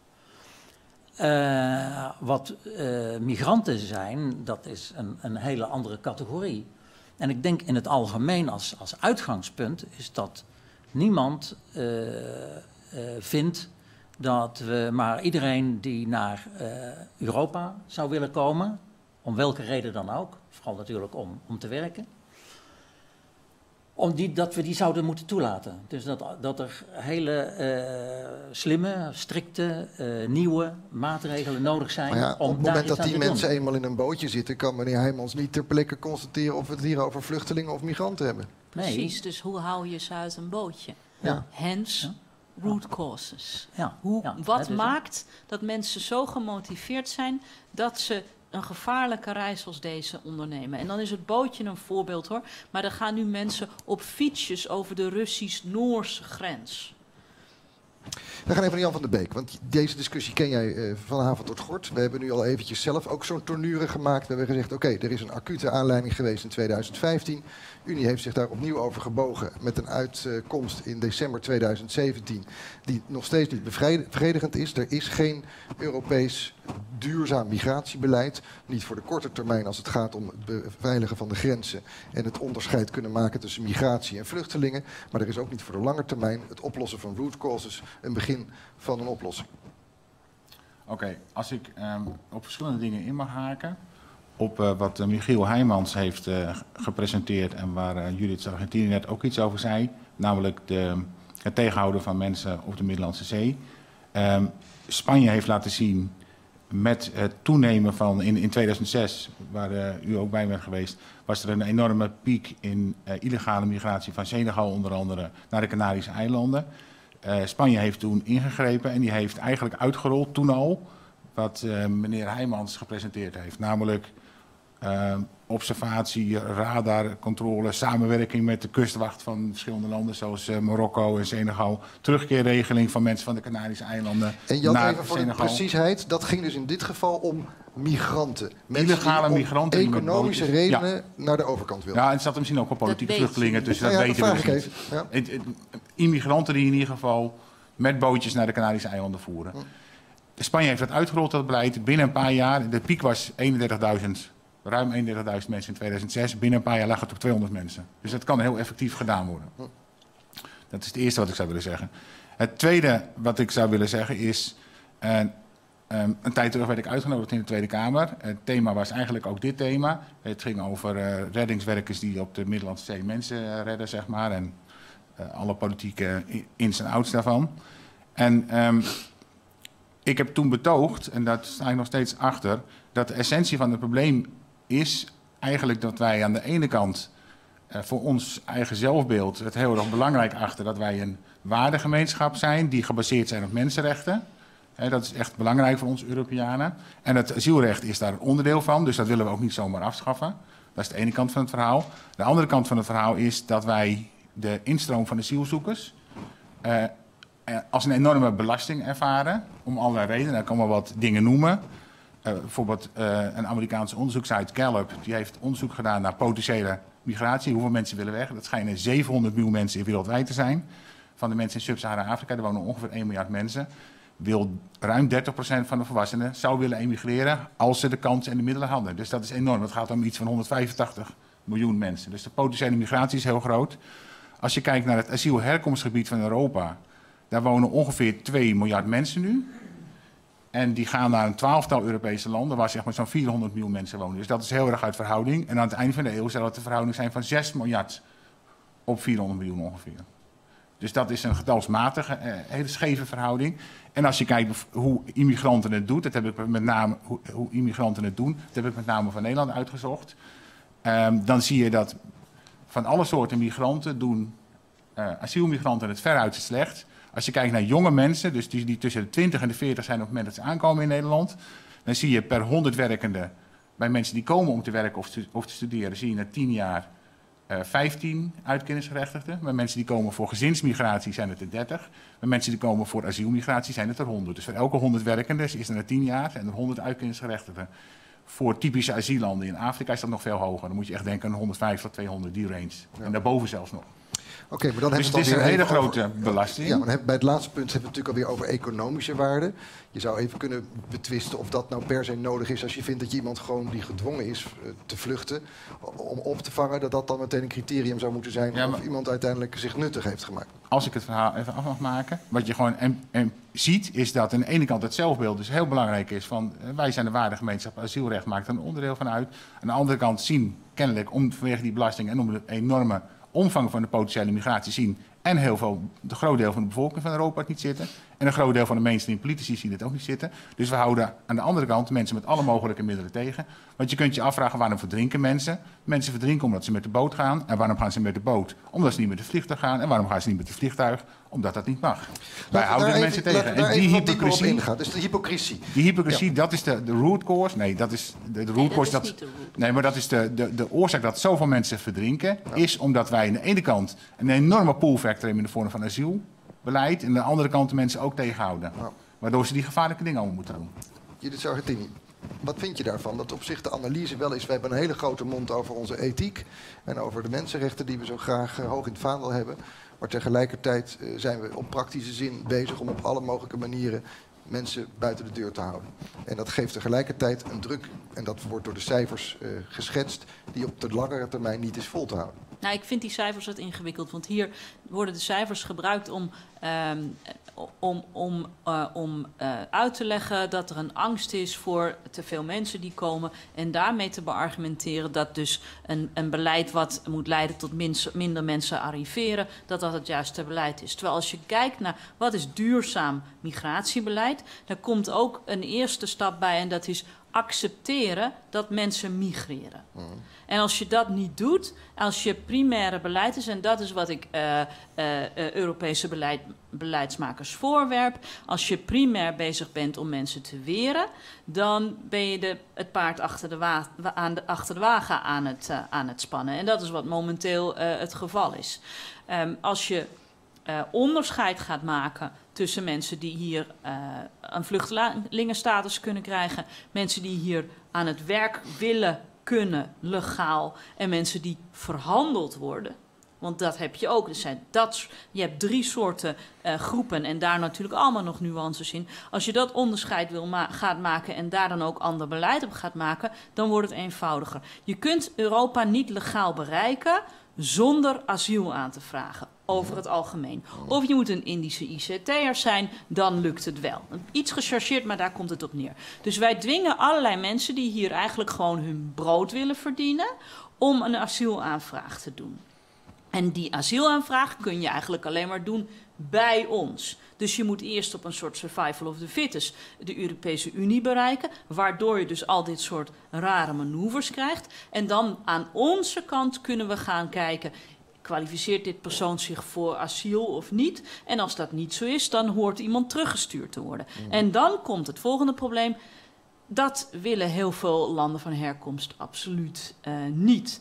En uh, dat heeft redenen van uh, diaspora betaalt, betaalt de rekening, dat is reuze prettig. Of we hebben al genoeg mensen, of mensen willen zelf absoluut niet terug. Dat is natuurlijk ook heel vaak zo, want je hebt die gevaarlijke reis gemaakt. Maar juist omdat wij het als een soort van survival of the fittest beschouwen en one size fits all. En niet accepteren dat we ook legale routes moeten aanbieden en voor vluchtelingen en voor arbeidsmigranten komen we niet een stap verder. En ik denk dan nog heel even nee, hier nee, op laat dat... even hier Mag ik eventjes er even op, op inhaken? Twee seconden. Ik wil eventjes zeggen, eh, als ik jou goed begrijp, zeg je je zou eigenlijk een soort van green card systeem of een soort Canadees systeem moeten introduceren waarbij je mensen ook op een legale manier uitnodigt om hier als arbeidsmigrant te komen. Ja, maar laten we eerst beginnen met hoe we met vluchtelingen omgaan. Nou ja, dat wilde ik dus even checken. Heb ik dat goed begrepen wat je zegt? Dan wil ik een soort van green card systeem voor Europa. Als je weet dat in Zuid, ja, als je in Zuid-Europa uh, de landbouw gedaan wordt door mensen uit Sub-Sahara-Afrika. Vroeger waren dat bijvoorbeeld in de Spaanse Huelta werden de aardbeien in het seizoen geplukt door vrouwen uit de Maghreb. Dus een Marokkaanse vrouwen die gewoon op de veerboot stapten, dan een paar weken plukten, eh, dan teruggingen en het volgende aardbeienseizoen weer terugkwamen. Dat kan niet meer, want we hebben nu Schengen en Spanje heeft niet meer zo'n af. Ze heeft allerlei soorten afspraken met Marokko, gaat een enorme hoeveelheid geld in om, maar dit kan niet meer. Dus de mensen die hier nu komen, die komen irregulier. Die hebben een gevaarlijke dure reis gemaakt. En die blijven. Die gaan niet terug. Even een reality check bij ook Paul uh, van Zeters en uh, zometeen ook bij jou. Ga je ja. ja, de crisis van 2015, waar we daarnet ook al over spraken... heeft uh, onder andere geleid tot een intensivering van wat al langer gaande was. Overleg tussen de Europese Unie en Afrikaanse landen. Mm -hmm. De Afrikaanse Unie, in de brede zin van het woord. En uh, de jongste aflevering daarvan heeft duidelijk gemaakt dat daar mogelijkheden voor verbetering liggen. Ik beschouw dat als een van de uh, vormen waarin je op een fundamenteler niveau met het probleem om kunt gaan. Hè. Als we erin slagen effectieve afspraken te maken tussen de Europese Unie en landen daar, hè, waardoor de omstandigheden de economische, maatschappelijke, politieke omstandigheden van die landen verbeteren, hè, dan zal dat de druk op de bevolking om uh, voor werk naar Europa te komen, komen hè, dat zal okay, afnemen. Jij legt het alweer een stap terug. Je zegt je moet duurzame afspraken maken met die landen zelf. Maar ja. we hebben het net al eventjes gehad over de vraag... de mensen die in ieder geval willen komen. Mevrouw Sargentini zegt, je zult mensen ook niet kunnen verbieden om te migreren. Dat is een ja. fact of life. Daarvoor zou je in ieder geval kunnen zeggen... er moet ook een legale uh, structuur komen binnen de Europese Unie. Bijvoorbeeld aan de hand van zo'n soort green card systeem of een Canadees systeem. Ja. Maar ik, dat, dat we hebben het nog even niet over echte vluchtelingen zoals het dan wordt genoemd. We hebben het nu gewoon even over arbeidsmigratie. Ja, ja. Nou ja, goed. Ik, mijn mijn uh, belangstelling voor dit hele terrein was uh, oorspronkelijk exclusief gericht op, uh, op het vluchtelingenvraagstuk. Mm -hmm. Dat had er ook mee te maken natuurlijk dat de, het coalitieoverleg met GroenLinks strandde op de eis van GroenLinks. Hè, dat dat het aantal VN-hervestigingskandidaten omhoog zou gaan. En toen klapte dat in elkaar. En toen kregen we een tweede ronde in de onderhandelingen. Toen ging het dus exclusief over een categorie VN-vluchtelingen. Dat zijn dus uh, personen die worden ge, uh, geselecteerd door de UNHCR. En op basis van bilaterale afspraken met landen. In dit geval dus Nederland. Nederland neemt de afgelopen jaren 500 per jaar van dat soort hervestigingsvluchtelingen op. Ja, maar dan hebben we een speciale dus, status. Die hebben een speciale status. Uh, alle discussies, ook over de inzet van vluchtelingen, de, hun kansen op de Nederlandse arbeidsmarkt en hun inburgeringsmogelijkheden, uh, die worden uh, vervuild doordat we die categorie echte vluchtelingen niet systematisch scheiden van arbeidsmigranten. Mm. Dan moeten we echt alle, alle pogingen om tot een duurzaam uh, migratiebeleid te komen moet, moet uitgaan van de noodzaak om een onderscheid te maken tussen vluchtelingen en arbeidsmigranten. Nou, en als je het over arbeidsmigranten hebt, dan, dan ga ik helemaal met uh, maar, Judith maar mee. ik ga er dan toch eventjes wat preciezer op door. Want Hoe maken we dat onderscheid? Als je het nu net op, we hebben het even weer gehad over de praktijk van alle dag. Mensen die in bootjes oversteken over de Middellandse Zee. Hoe ga je daar dat onderscheid maken? Mag ik daar een voorstel Ja? voor? Kijk, Nederland doet inderdaad 500 uitgenodigde vluchtelingen uit UNHCR-kampen elders in de wereld opnemen. En toen er meer, afgelopen jaren meer mensen opgenomen werden vanuit Turkije en Jordanië, dus dat mensen die uit Syrië gevlucht waren, werden er dus minder mensen uit Dadaab in Kenia opgenomen. Dadaab is het grootste vluchtelingenkamp eh, ter wereld, zitten met name Somaliërs. Maar überhaupt zijn er nog steeds heel veel Europese lidstaten die dit niet doen. En de UNHCR zegt 25% van de jaarlijks te vluchtelingen wereldwijd, daar zou de Europese Unie zorg voor moeten dragen. Nou, dat gaat over andere aantallen. Dat gaat over, eh, eh, ik geloof dat dat over eh 100.000 mensen per jaar gaat. Voor de hele Unie. En we zijn met 500 miljoen mensen. En ik denk dat je vluchtelingen best een tijd in een vluchtelingenkamp ergens kunt laten zijn. Het is geen prettig leven. Al die ideeën over mooie kampen met, met, met langdurige toekomst, daar geloof ik niet zo in. Maar je kunt best enige jaren in een vluchtelingenkamp verblijven. Maar dan moet je wel uitzicht hebben op een beter leven daarna. En dat doe je door mensen gericht te hervestigen. Dan weet je die mensen dus een andere, een gerichte route te geven. En het andere voordeel daarvan is dat je ze ziet aankomen. Want je weet dat je ze uitgenodigd hebt. Je hebt ze zelf op die chartervlucht gezet. Je hebt eh, thuis je za- zaakjes geregeld. En je leidt ze in in je samenleving. Dat wil niet zeggen dat je daarna nooit meer vluchtelingen via de irreguliere routes ziet komen. Maar het wil wel zeggen dat je mensen kunt vertellen: blijf alsjeblieft nog twee jaar in dit kamp in Turkije. Als de UNHCR selecteert en zegt: jij bent een gekwalificeerd vluchteling, dan gaan we je daarna elders in de wereld een veilige plek bieden. Ja. En dan denk ik dat vooral gezinnen met kinderen, maar ook die jonge mannen, echt niet meer in die boot willen stappen. Maar dat doen we niet, want we zijn heel huiverig. En sterker nog, toen er zoveel vluchtelingen zelf maar gingen wandelen, dus niet meer wachten.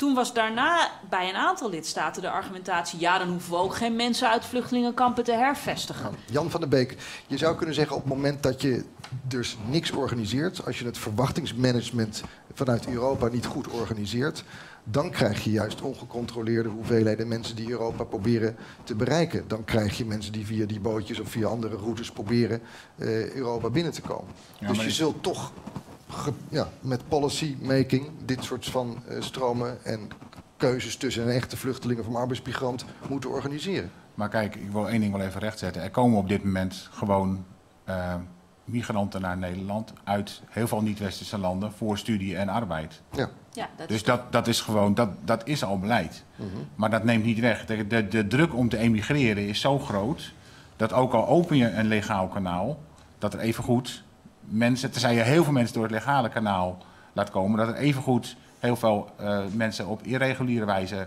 je naar een Wij zijn gewoon het filedorp van de wereld. Het is Ja. gewoon zo mooi en aantrekkelijk om hier te zijn. Dat snappen mensen, dus daarom willen ze hier zijn. Maar en met grote aantallen. En wat u zei net, dat wou ik ook even op inhaken nog. U zei net van, ehm, we moeten accepteren dat er migratie is. Ik, ik zei eerder, het potentiële aantal immigranten uit, eh, laten we zeggen, de ons omringende landen. Dat moet je echt aan honderden miljoenen mensen denken, volgens dat Kellogg-onderzoek. Eh, hoeveel mensen zou u willen accepteren? En mogen die mensen dan ook, hè, in, in die vrije immigratie, mogen die mensen dan ook toegang krijgen tot de verzorgingsstaat? Oké. Dat zou ik wel eens antwoord op willen Wat ik om, om te beginnen denk ik dat mensen niet maar één keer migreren. Dat is, dat is een veronderstelling. Mensen, de veronderstelling is dat mensen hier graag willen zijn en nooit meer weg willen gaan. Maar dat is de consequentie van het visumbeleid wat we voeren. Als je eenmaal legaal met papieren of illegaal zonder papieren in Europa terechtgekomen bent, en ik limiteer me nu niet tot het Nederlands debat, dan ga je niet nog een keer terug naar huis om deze reis nog een keer Maar te de- forma- mijn vraag was, hoeveel mensen? Ja, maar dat vind, dat vind ik een heel raar debat. Want ik denk dat een samenleving heel rekbaar is. En dat dat we niet moeten denken dat een ieder hier wil zijn. Als je kijkt naar wat er gebeurt bijvoorbeeld in West-Afrika, waar Europa zich nu bemoeit met grenscontrole tussen West-Afrikaanse landen. Wat, dat was een soort van een Schengen-achtige constructie daar. Net zoals wij het hebben. Vrij verkeer van eh, personen, vrij verkeer van goederen, vrij verkeer van werknemers. Maar wij zijn zo bang dat mensen vanuit, zuid, vanuit Zuidwest-Afrika doortrekken, dat wij nu grenscontroles helpen opzetten in die landen. Terwijl de interne migratie in die regio gigantisch was. We hebben nu iets neergezet op de, Niger, eh, op de, op de grens van Niger. Terwijl de meeste mensen die naar Niger migreerden, helemaal niet door naar Libië, naar Europa wilden, maar intern aan het eh, circuleren. Mag ik wel even Ik, onderbreken? ik, Mag ik wil, ik- wil wel een antwoord Even geven. Ja, ik wil wel een antwoord Nee, geven op de nee, vraag ik, ik stel een van vraag Jan van der Beek. Ja. dat- dat- dat- Ik de wil jullie even vragen om een komma te ik wil een zetten. antwoord Nee, geven op die vraag. Even wordt ik wil even- ik wil gebruikt om het woord te nemen. Dat, is natuurlijk niet, niet, eh, dat schiet niet op. Ik wil even een komma zetten, want ik vind het ook belangrijk dat we nog steeds een volgbaar gesprek hebben voor de Ja, mensen hier in de zaal. Eh, we hebben aan het begin van, van, van dit gesprek geconstateerd. We hebben het ook over root causes die moeten worden opgelost. Daar zijn we nog niet aangekomen. We hebben het in ieder geval over een heleboel vluchtelingenkampen. Waar echt honderdduizenden mensen zitten. Waarvan gezegd wordt: vroeg of laat gaan die mensen richting Europa. om de redenen die jullie hebben geschetst. Dat kun je gecontroleerd proberen te organiseren. Dat kun je ook overlaten aan nou ja, de smokkelaars en et cetera. Als je het gecontroleerd doet, is door mevrouw Surgentini gesuggereerd. moet je een verwachtingsmanagement neerzetten. hoeveel mensen er op jaarbasis kunnen worden opgenomen. Versus de gedachte: ja, maar misschien kunnen we überhaupt daar niet aan beginnen. want het blijft een aanzuigende werking eh, veroorzaken. En u heeft de vraag gesteld: wanneer is het dan genoeg? Waar, waar leggen we de Mag grens? ik daar een antwoord op geven? Dan zijn we daar weer verder, ja. Eh, het CDU, CSU en SPD hebben een eh, overeenkomst bereikt in de onderhandelingen die nog tot een afronding moeten leiden. Maar het ziet er naar uit dat dat gaat gebeuren. Dat ze per jaar 200.000 eh, vluchtelingen gaan opnemen. Vluchtelingen. Eh, Duitsland is eh, vier keer zo groot als Nederland. Dus mijn antwoord op jouw vraag is: 50.000 vluchtelingen zou Nederland per jaar heel eh, gemakkelijk op kunnen vangen. Daar voeg ik aan toe dat de Nederlandse samenleving zich veel intensiever en breder en creatiever zou moeten inspannen om de vluchtelingen die hier zijn of die nog komen in te zetten hè, op de Nederlandse arbeids- arbeidsmarkt, om ze in de Nederlandse samenleving in te burgeren en niet van inburgeren iets te maken dat de overheid moet regelen. Hè, er zijn allerlei eh, voorbeelden in Nederland op kleine schaal, initiatieven hè, die, die nu eh, aan kracht winnen, snel, mede onder invloed van de crisis, waardoor alles een beetje in de snelkookpan is gekomen. Eh, dat is dus niet wegkijken van het probleem, maar zeggen burgers en burgerinitiatieven kunnen zich veel meer inspannen om vluchtelingen waarvan wij vinden op, onze ba- op, onze, op basis van onze Europese waarden dat we ze hier een plek moeten geven. Ze niet alleen in een AZC te geven, eh, te zetten en, en daar te laten verpieteren. En te wachten tot ze slagen voor een examen Nederlands. Hè. Ja. Maar dan zeggen, kom, we gaan er iets mee, mee doen. Er gebeurt veel te weinig. Laatste voorbeeld, al sinds 1978. Maar Paul, jij, jij suggereert nu, oké, Duitsland heeft die afspraak gemaakt over 200.000. Nou ja, Omgerekend zou dat er voor ons concreet. 50.000 zijn. 50.000. De vraag die vanavond wel voor ligt, kan je dat dan ook in Europees verband op die manier regelen? Of is het dan toch weer elk land wat voor zichzelf gaat besluiten hoe dat ongeveer moet? Nou, we zijn dat. We pogen dat in Europees verband te regelen. De Europese Commissie heeft een voorstel gedaan dat nu ieder lidstaat aan hervestiging van vluchtelingen gaat doen. Laten we wel wezen, dat beantwoordt niet de vraag die u net opwierp, want die ging veel breder dan, eh, dan vluchtelingen alleen. Eh, nou, daar wordt over onderhandeld. Dat is een vrij moeizaam proces. Er zijn inderdaad weer landen die zeggen: we willen wel betalen, maar we willen die vluchtelingen niet opnemen. Of eh, als we vluchtelingen willen opnemen, dan willen we alleen maar vluchtelingen opnemen van christelijke origine. En als je dat gaat doen, dan ga je ver afdrijven van een UNHCR-definitie van wat is een vluchteling. Ehm, maar het, het is wel een poging die gedaan wordt. Maar het leidt tot dezelfde soort debatten. Maar het zal heel erg winst zijn als die landen die eigenlijk eh, niet zo de kont tegen de krip gooien, maar gewoon nooit begonnen zijn aan een fatsoenlijk hervestigingsbeleid. Denk aan België, die pas drie jaar geleden begonnen is en zo'n 300 mensen per jaar uitnodigt. Maar denk ook aan ons eigen land met die 500. Als wij onze aantallen daarin gaan vergroten en, en dat dus ook zien aankomen en dat kunnen regelen. Of Baltische staten, die, die zijn klein, maar die leren langzamerhand kennen dat je ook mensen niet alleen maar van Russische of voormalige Sovjet-staten origine kunt integreren in je samenleving, maar ook uit Afrikaanse landen of uit Aziatische landen. En dat, dat kan best. Maar ik denk dat we, wa- waar we elke keer op stuiten, is dit. Als je de vraag stelt, hoeveel is onze absorptiecapaciteit? Dan, dan, en je wil, daar een, je wil daar een nominaal antwoord op. Daar komt automatisch een beleid uit voort dat gericht is op het, op het beperken van, van de instroom vanwege die absorptiecapaciteit. En ik denk niet dat daar uiteindelijk uit voortkomt. eh, meer gelijkheid in de wereld. Want waar gaat dit om? Dit gaat over ongelijkheid in de wereld. En wij zitten er gewoon economisch zoveel warmer bij. Dat overkom je niet met ehm, marineschepen of met eh, visa wel of niet alleen. Dus dat overkom je alleen door meer gelijkheid in de wereld. Oké, Jan Maar ik, ik wil hier toch wel even op ingaan. Ook op die 50.000, ook op dat morele, morele Gelukkig. dilemma.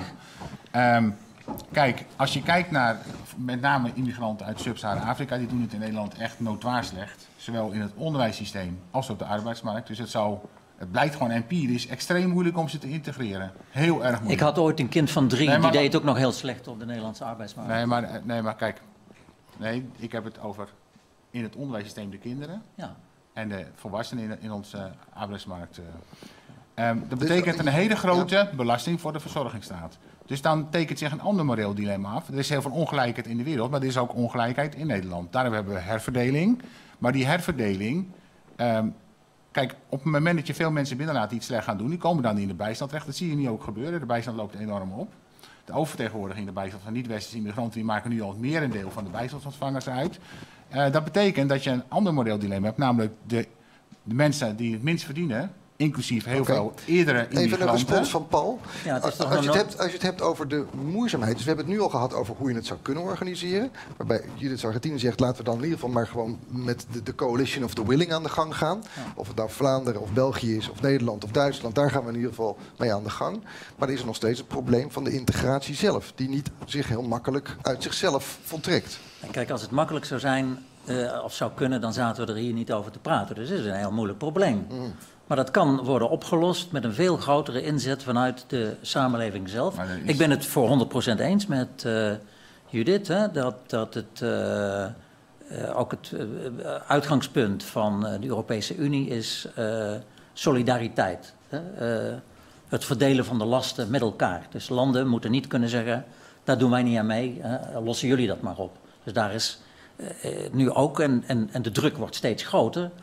Alleen, je ziet dat eh, op 24 december heeft Oostenrijk zich solidair verklaard met de Visegrádlanden. Dus dat blok van landen wordt eerder, hè, die, die zegt hier doen wij niet aan mee, wordt eerder groter dan kleiner. En dat is dus bij lange na nog niet opgelost. Er is een, ook een, een toenemende tweespalt tussen eh, de president eh, van de Europese Raad en de president van de commissie. Hè, omdat de commissie hier allerlei voorstellen van had gedaan. En de, en de president van de Raad, die natuurlijk de agenda van de Europese Raad in hoge mate beheerst, Ja. die heeft gezegd, nou dan moeten we die, die eh, verplichte quota maar afschaffen. En daar heeft nota bene de eh, Europese commissaris voor vluchtelingenzaken, eh, een Griek, die heeft ervan gezegd, dit is onaanvaardbaar. Dus een Europese commissaris Ja, die, die roept, hè, onaanvaardbaar. En dit is een ondermijning van het belangrijkste uitgangspunt van de Europese Unie. Jullie dat conflict elkaar- hebben we ja. nu hè, tussen, tussen die twee. Maar ik heb bezwaar tegen het beeld dat door eh, Jan wordt geschetst... Hè, dat eh, dit een overbelasting is voor de Nederlandse eh, verzorgingsstaat.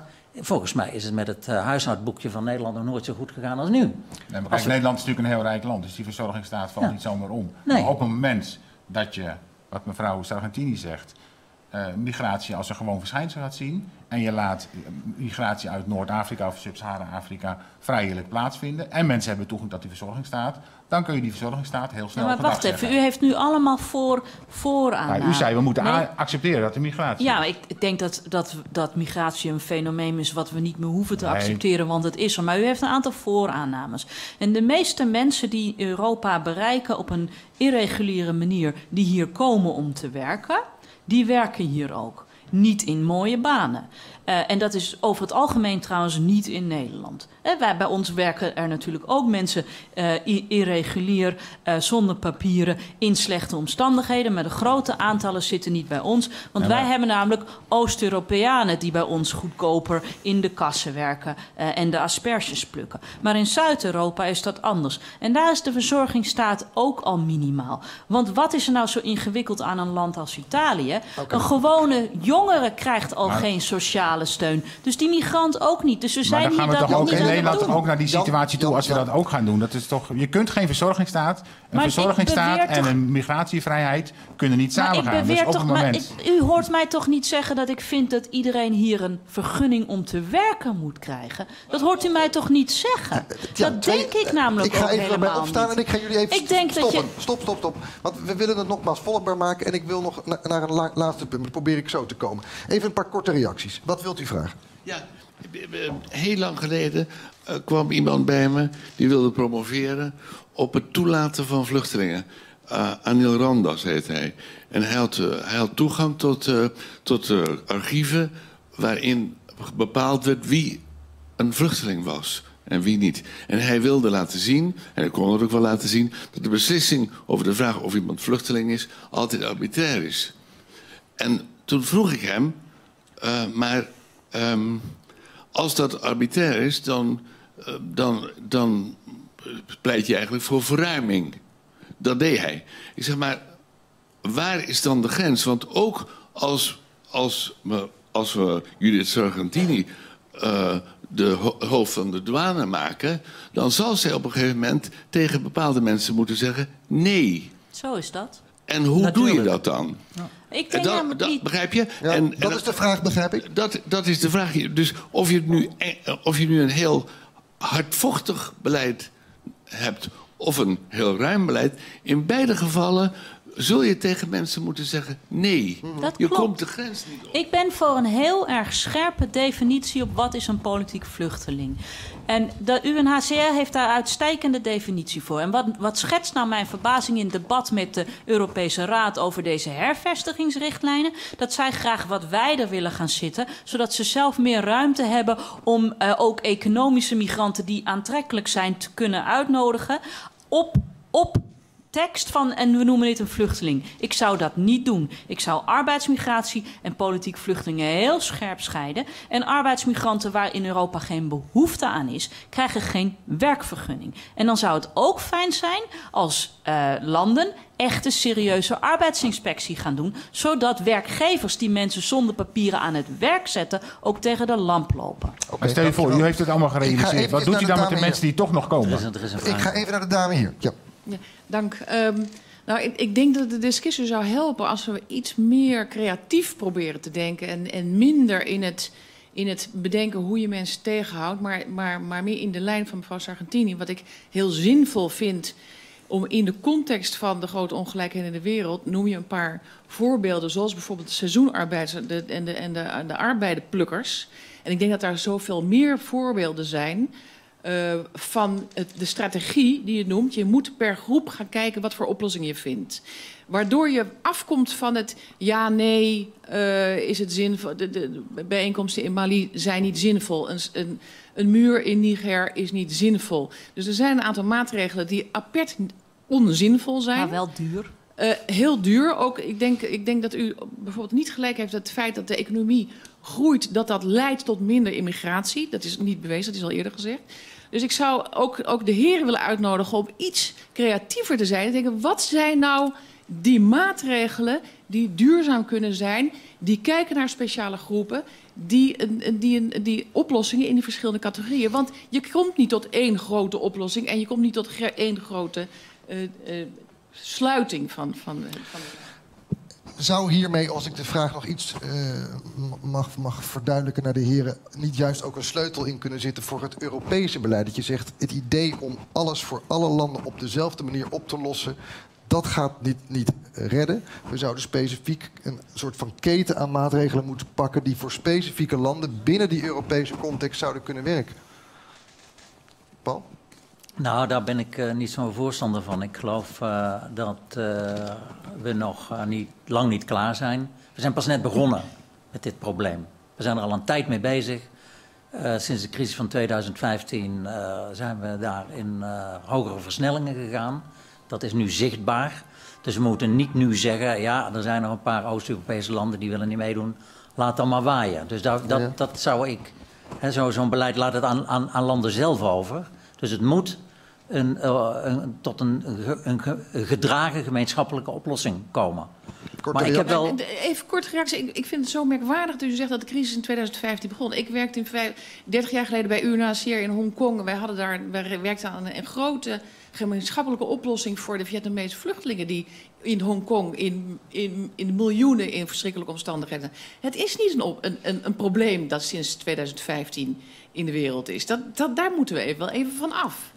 We hebben grote aantallen Vietnamese bootvluchtelingen opgevangen in Nederland. En daar hoor je nooit één klacht over. Precies. Die doen het allemaal goed. Precies, allemaal, hè? Die doen het goed. Dat was ja? een crisis toen in Hongkong. Ja. Nee, maar goed, een, een deel van die crisis is uh, bij ons geland. Hè? En een, een, een, aanzienlijk aantal, ik heb die cijfers niet uh, paraat, maar een aanzienlijk aantal, ik geloof tussen de 10 en de 15.000 Vietnamese bo bootvluchtelingen, is in Nederland opgenomen. En je leest nooit in de krant over uh, problemen van, van die mensen die hebben hun, hun weg gevonden op de Nederlandse arbeidsmarkt. Uh, Even een kleine introductie. As, asielmigranten, uit welk land ze ook komen, ze doen het altijd slechter dan de andere categorieën en veel slechter. Chinezen doen het heel goed in Nederland, behalve Chinezen die met motief asiel komen. Gewoon CBS-data, kun je gewoon uitrekenen. Asiel is gewoon de slechtst mogelijke manier om te immigreren. Dat geeft de grootste kans op uitkenningsafhankelijkheid. Is er een verklaring waarom dat zo zou zijn? Ja, dat, daar kun je allerlei verklaringen voor bedenken. Die lange procedures. Mensen hebben, worden heel lang gedwongen tot inactiviteit. Mensen zijn natuurlijk niet geselecteerd op skills, zoals arbeidsmigranten en studiemigranten wel. Die hebben natuurlijk vaardigheden. En asielmigranten is een willekeurige selectie. Er zijn allerlei redenen te bedenken. Ik heb daar geen onderzoek naar gedaan, dus het wordt speculatie. Maar ik denk dat die lange procedures, dat helpt denk ik niet. Je kunt het nee. ook anders aanvliegen. Uh, je kunt ook zeggen, de mensen die de faciliteiten hebben om te migreren, of dat nou vluchten is of arbeidsmigratie, is altijd het neusje van de zalm in een samenleving, zijn nooit de aller, allerarmste. Dus als je moet constateren dat je mensen binnenkrijgt die niet voldoende uh, geëquipeerd zijn om in onze samenleving te leven, herinner je dan vooral wie er achtergebleven zijn. Daarnaast zie je dat er een enorm verschil is in soort vluchtelingen. Dat uh, Eritrese vluchtelingen er echt uh, minder opleiding hebben dan bijvoorbeeld Syrische vluchtelingen. Dus het is iets te simpel om te stellen. Het is ook eigenlijk niet zo heel relevant als je wil houden aan um, internationale afspraken over vluchtelingen. Maar mevrouw, de vraag. Ik denk dat je op het moment dat je zegt. Voor vluchtelingen hebben we één Europees beleid en ieder land zal zijn deel moeten nemen. En dat lijkt me ook heel erg goed, want dan leert een land omgaan met met integratie van nieuwkomers. In Oost-Europa zijn ze eigenlijk de afgelopen 100 jaar uh, minder uh, gemeleerd geraakt uh, dan, de, dan de tijd daarvoor. En bij ons juist andersom, en dat matcht niet. Maar voor arbeidsmigratie kun je wel degelijk lidstaten best ruimte geven. Want waar maar, je behoefte aan even, hebt, dat toch moet even je een reality check, mevrouw Sargentini. Voorlopig ziet het er eerder naar uit dat het de andere kant op gaat. Ik bedoel, we praten hier over het perspectief voor de, voor de lange termijn binnen Europa. Er werden net voorbeelden gegeven. Die visieraadlanden die, die doen het niet. Oostenrijk heeft zich daarbij aangesloten. Dat is dan toch niet reëel? Uh, Oostenrijk heeft het zich. Ja, het is, niet, uh, het is niet voor morgen geregeld. Maar ik zit daar ook om iets te veranderen. En als we er bij, ons bij neerleggen, dan komt er dus geen antwoord op deze prangende vraag. En dat wordt dan bijna een soort van klimaattop, waarbij we allemaal weten dat het moet, maar we stellen het nog maar een keertje uit. En dat lijkt mij reuze onverstandig.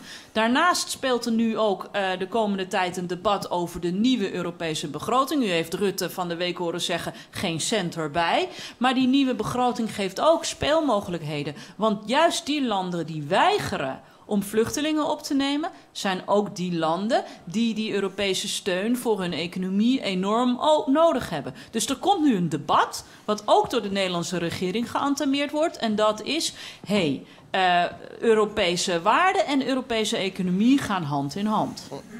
En je wordt beloond of niet als je daar een bijdrage En aan dat is, maakt het niet leuker, dat debat. Maar Oké. Eh, ik denk dat eh, meneer Van der Beek eh, net een vraag wilde stellen aan mevrouw Sargentini. En die raakt een beetje ondergesneeuwd. Denk ik. Ik, ik wilde vragen van meneer Van der Beek. Die zei ook dat die mensen uit sub- Sub-Sahara-landen.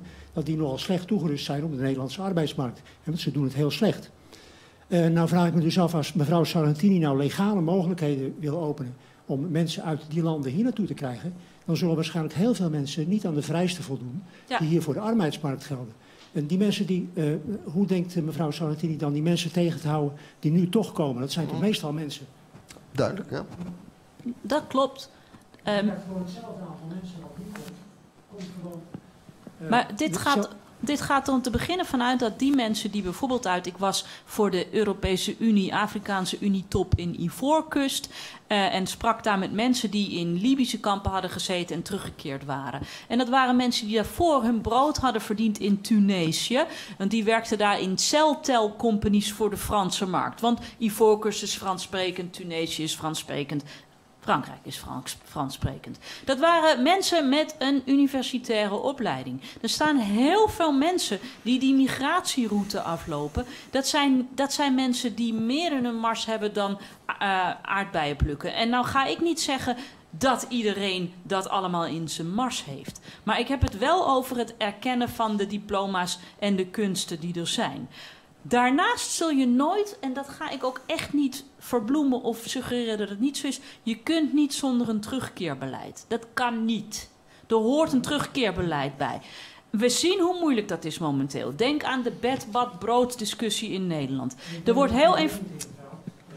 Het is, denk ik, eh, die mensen die nu uit die Sub-Sahara-landen komen, die voldoen niet aan de vereisten die wij, van de, voor eh, de banen die wij hier nodig hebben. Nou, dat vraag ik mij die- af, meneer. de- misschien dat er, eh, laten we zeggen, duizend mensen zouden dan uitgenodigd worden. Die zouden hier langs officiële weg met een vliegtuig kunnen komen. Maar die andere duizenden mensen die uit diezelfde gebieden komen, die zouden toch hier willen, willen komen. Maar Dus die, gaan zijn, gewoon maar diezelfde die routes- zijn niet hier in. En om te beginnen zijn Nou. die met name in Zuid-Europa en niet echt hier. Maar u heeft gelijk. Ik heb geen en niemand. En ik denk dat dat een onderdeel is van realiseren. Er is geen waterdicht, en excuseer de watervergelijking. Er is geen waterdichte verhaal hier te maken. Er is alleen maar een poging te doen om het voorspelbaar te maken. En zoveel mogelijk te reguleren. En daarnaast Goed. te werken aan de economie Ja, in die landen. Ik wou er wel heel even op ingaan, want dat is echt een heel belangrijk punt. Ik heb hier aan gerekend en er is een, als je kijkt naar de verhouding tussen werkenden en, en mensen met een uitkering, die is extreem sterk gecorreleerd aan dat aantal jaren onderwijs in het herkomstland. Dus ja, in, in Eritrea is het gemiddeld aantal jaren onderwijs bijvoorbeeld vijf. In Nederland is dat natuurlijk veel hoger. Eh, in het land als Iran is dat geloof ik 14. In Syrië geloof ik 9. En je ziet gewoon, en dat kun je voor, voor een stuk of 60, 70 landen is die data bij CBS beschikbaar. Je ziet gewoon hoe minder, jaren, hoe minder het aantal jaren onderwijs is in het herkomstland, hoe groter de kans op uitkeringsafhankelijkheid. Uiteraard. En wat is En daar de heel veel van die mensen nemen-? En, en, en dus zouden Dan. Europese programma's. Wij hebben geen behoefte Paul, aan de gemiddelde. Oké. Ja, ik voel me wel aangesproken eh, door die vraag. eh, ben eens wat eh, creatiever. Dus hier is mijn eh, creatieve bijdrage voor vanavond. Eh, sinds 1978 kent Canada een Private Refugee Sponsorship Program. Ongeveer een derde tot de helft van de vluchtelingen die in Canada worden opgenomen de afgelopen zoveel jaar, die komen via dit sponsorship programma. Dat zijn dus individuele burgers in Canada of burgerorganisaties, formeel of wat minder formeel. Eh, maar dus los van de overheid, waar mensen zelf, hè, de, de samenleving waar ik het eerder over had, de civil society, zich inzet en eh, mensen, eh, vluchtelingen, eh, over laat komen, die natuurlijk wel aan, aan UNHCR-achtige voorwaarden moeten voldoen. Die worden dus geselecteerd. Je bent niet een vluchteling als je dat zelf op je voorhoofd eh, zet. Ehm, die mensen die eh, als eh, sponsor zich aanmelden, dat gaat natuurlijk in samenwerking met de Canadese overheid, daar is een hele bureaucratie voor. Die betalen daar een aanzienlijk bedrag voor, gemiddeld 15.000 uh, Canadese dollars per jaar.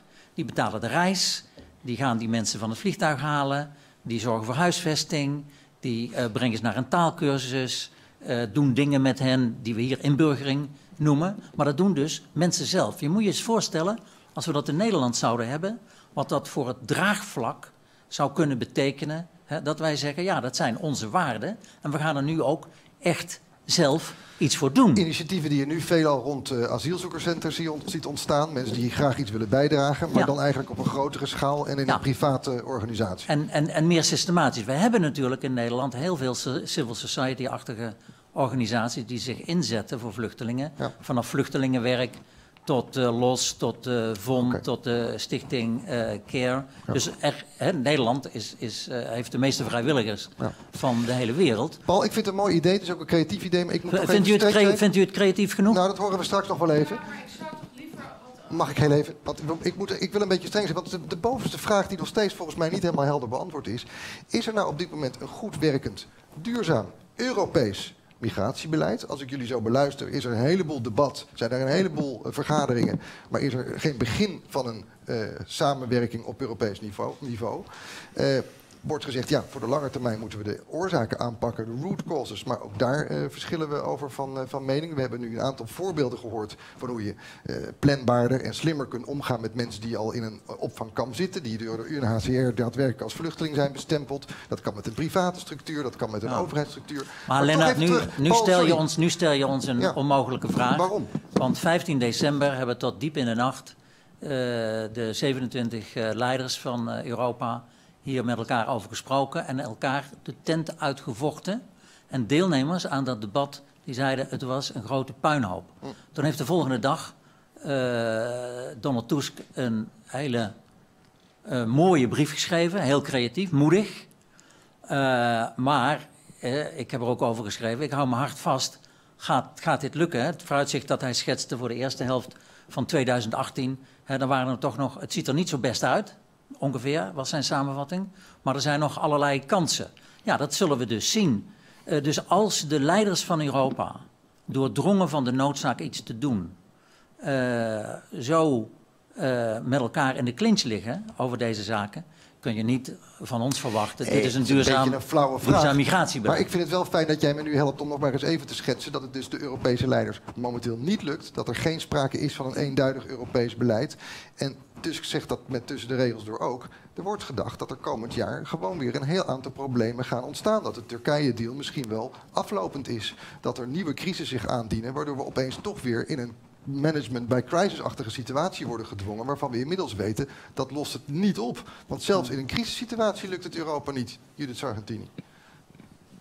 En dat gaat dan alleen nog maar over vluchtelingen. Er zijn zoveel meer mensen die zouden willen migreren eh, en, eh, en in deze situatie terechtkomen. Dus ja, ik ben daar ook somber in. Maar het enige wat we kunnen doen is elke keer opnieuw eh, proberen met de feiten dit gesprek aan te gaan en dit debat te voeren. En er is natuurlijk wel een basis van een Europees vluchtelingenbeleid. We hebben allerlei soorten wetten over hoe je mensen opvangt, hoe je mensen mag uitzetten, wa- wat het is om asiel te krijgen.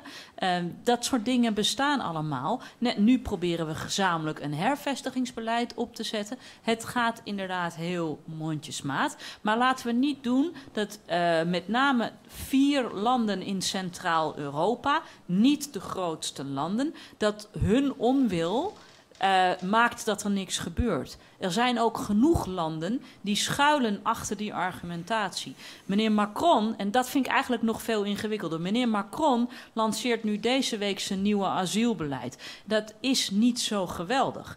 En het, het feit dat zij al die jaren die die, die jungle in Calais hebben laten bestaan, was eigenlijk bedoeld om te laten zien: jongens, kom maar niet bij ons. Want bij ons is het onprettig en onze service is nul. Zoek een ander land. Dus er zijn nog genoeg westerse landen die hopelijk toch wat gevoeliger zijn voor dit debat, die een volgende stap kunnen zetten. En daar hou ik me dan toch maar aan vast. Oké. Eén of twee laatste vragen uit de zaal. En dan gaan we proberen een beetje te concluderen. Daar zijn we eigenlijk al mee bezig. We gaan het, het probleem niet oplossen, is in ieder geval de hoofdboodschap. Zeg even wie je bent. Uh, ik ben uh, Abdel Talawi. Ehm, ik heb een vraagje eh, of een opmerking. Want jullie hebben het steeds over mensen die eh, willen migreren. Maar je hebt ook heel veel mensen die niet willen migreren. Echt totaal niet. Die willen helemaal niet naar Europa komen, vinden ze koud. En die denken van, weet je, ik wil in Noord-Afrika bijvoorbeeld blijven. Mijn ouders die komen er vandaan. En het afgelopen jaar is er een enorme opstand geweest in het noorden van Marokko. En die mensen die zeggen van, nou, ja, we willen hier een leven opbouwen. We willen hier een bestaan opbouwen, werk, wonen, zorg en hier. En er is niemand die ze, eh, vanuit Europa, het, het is de machtige Europa, Noord, eh, Noorderbuur. En niemand die dan, die mensen dan ondersteunt. Die zegt van oké, goed dat jullie voor je eigen rechten opkomen. Nou, laten we jullie steunen, zodat jullie een daarom bestaan opbouwen. Laten we die Marokkaanse staat erop aanspreken. Helemaal niks van het alles. Die mensen die zijn nu in duizenden zijn in de gevangenis gestopt. Uh, mensen worden 20 jaar veroordeeld tot 20 jaar gevangenisstraf. Sommige drie jaar alleen maar omdat ze een beter bestaan hebben. En denk van, nou ja, als Europa echt zo duurzaam, hè, tenminste een duurzaam beleid zou willen hebben, nou, dan is dat toch het mooiste om dan die mensen dan te ondersteunen. Al is al in woord, alleen of een gebaar van, ja, oké, nou laten we deze. We staan achter jullie. Nou, we kunnen niet veel voor jullie betekenen, maar we staan wel achter jullie. Zo, Ik begrijp wat je zegt. Jan van der Beek? Nou, ik, ik, ik noem dat vaak, uh, want ik weet, kijk, ik gun natuurlijk de mensen in, uh, in, uh, in de RIF natuurlijk het allerbeste, maar ik denk dat onze mogelijkheden toch beperkt zijn. Dat je heel snel in een soort neocoloniaal schema terechtkomt. Ik, ik neem ook wel eens de, de, de, neocoloniale zelfoverschatting in de mond, waarmee bedoel is dat Europa misschien ooit heel machtig was en overal een vinger in de, in de pap had. Maar dat is natuurlijk, eigenlijk zijn onze mogelijkheden heel beperkt. Met uitzondering dan van de Fransen die een soort neocoloniaal leger nog hebben in Afrika. Maar dat moet je ook niet overschatten. Dus ik denk dat onze mogelijkheden om in te grijpen gewoon beperkt zijn. Wat we wel meer zouden kunnen doen, en daar ben ik ook met mevrouw Sargentini uh, eens, is veel meer middelen vrijmaken om in vluchtelingenkampen daar de situatie bijvoorbeeld te verbeteren. Dat zijn wel concrete dingen die je kunt doen en die ook uitvoerbaar zijn. Maar ingrijpen in binnenlandse aangelegenheden van 50 uh, Afrikaanse landen om te zorgen dat het daar beter gaat. Het lijkt mij uh, ver boven onze macht. Ik denk dat de RIF, want u heeft het over de opstand in de RIF. Uh, ik denk dat u groot gelijk heeft dat dat heel erg weinig uh, hier in het nieuws komt. en ik denk dat Europese lidstaten ook met mail in hun mond spreken. Er is een probleem met, uh, uh, met Marokko rondom de Westerse Sahara en de handel. Marokko weigert bijvoorbeeld mensen terug te nemen, of zolang wij niet erkennen dat producten uit de Westerse Sahara bij ons op de markt mogen komen. En dat zal Europa niet doen. Um, er is een enorme uh, vrijen als egeltjes in de relatie met Marokko. En daarbij komt de zware discriminatie die al heel lang gaande is in de RIF, komt niet goed uit in het debat. En ik ben bang dat dat de harde waarheid is. Ja, toch het eigen hachje van Europa wat dan uh, geprevaleerd uh, wordt. Laatste vraag komt van u en dan sluiten wij af, want het is alweer bijna tien uur. Vragen, misschien ook een mogelijkheid. Wij hebben na, na de Tweede Wereldoorlog in Europa, in Europa hebben we een Marshallhulp uit Amerika gekregen. Zou niet een veel goedkoper en ook een veel hele uh, humane en uh, goede oplossing is om een Marshallhulp voor Syrië op te zetten? Dat je daar veel goedkoper op bent en dat de mensen er ook veel meer mee geholpen zijn. Paul? Uh, nee, ik verstond het niet. Een Marshall een Marshallhulp voor, bijvoorbeeld voor Syrië, voor Syrië. Zoals, zoals, wij dat in het verleden van de Amerikanen hebben gekregen. Is dat niet een goedkopere oplossing dan dat we al die mensen hier moeten opvangen? Ja, ik ben niet zo'n uh, goed in rekenen als uh, uh, Jan van der Beek. Dus ik vind het lastig om een echt concreet antwoord te geven op die vraag. Maar ik ben altijd voor steun van landen die het zich kunnen veroorloven voor landen die het nodig hebben. Dus dat is een beetje een makkelijk antwoord. Hè? Dus dan zou dat zeker moeten.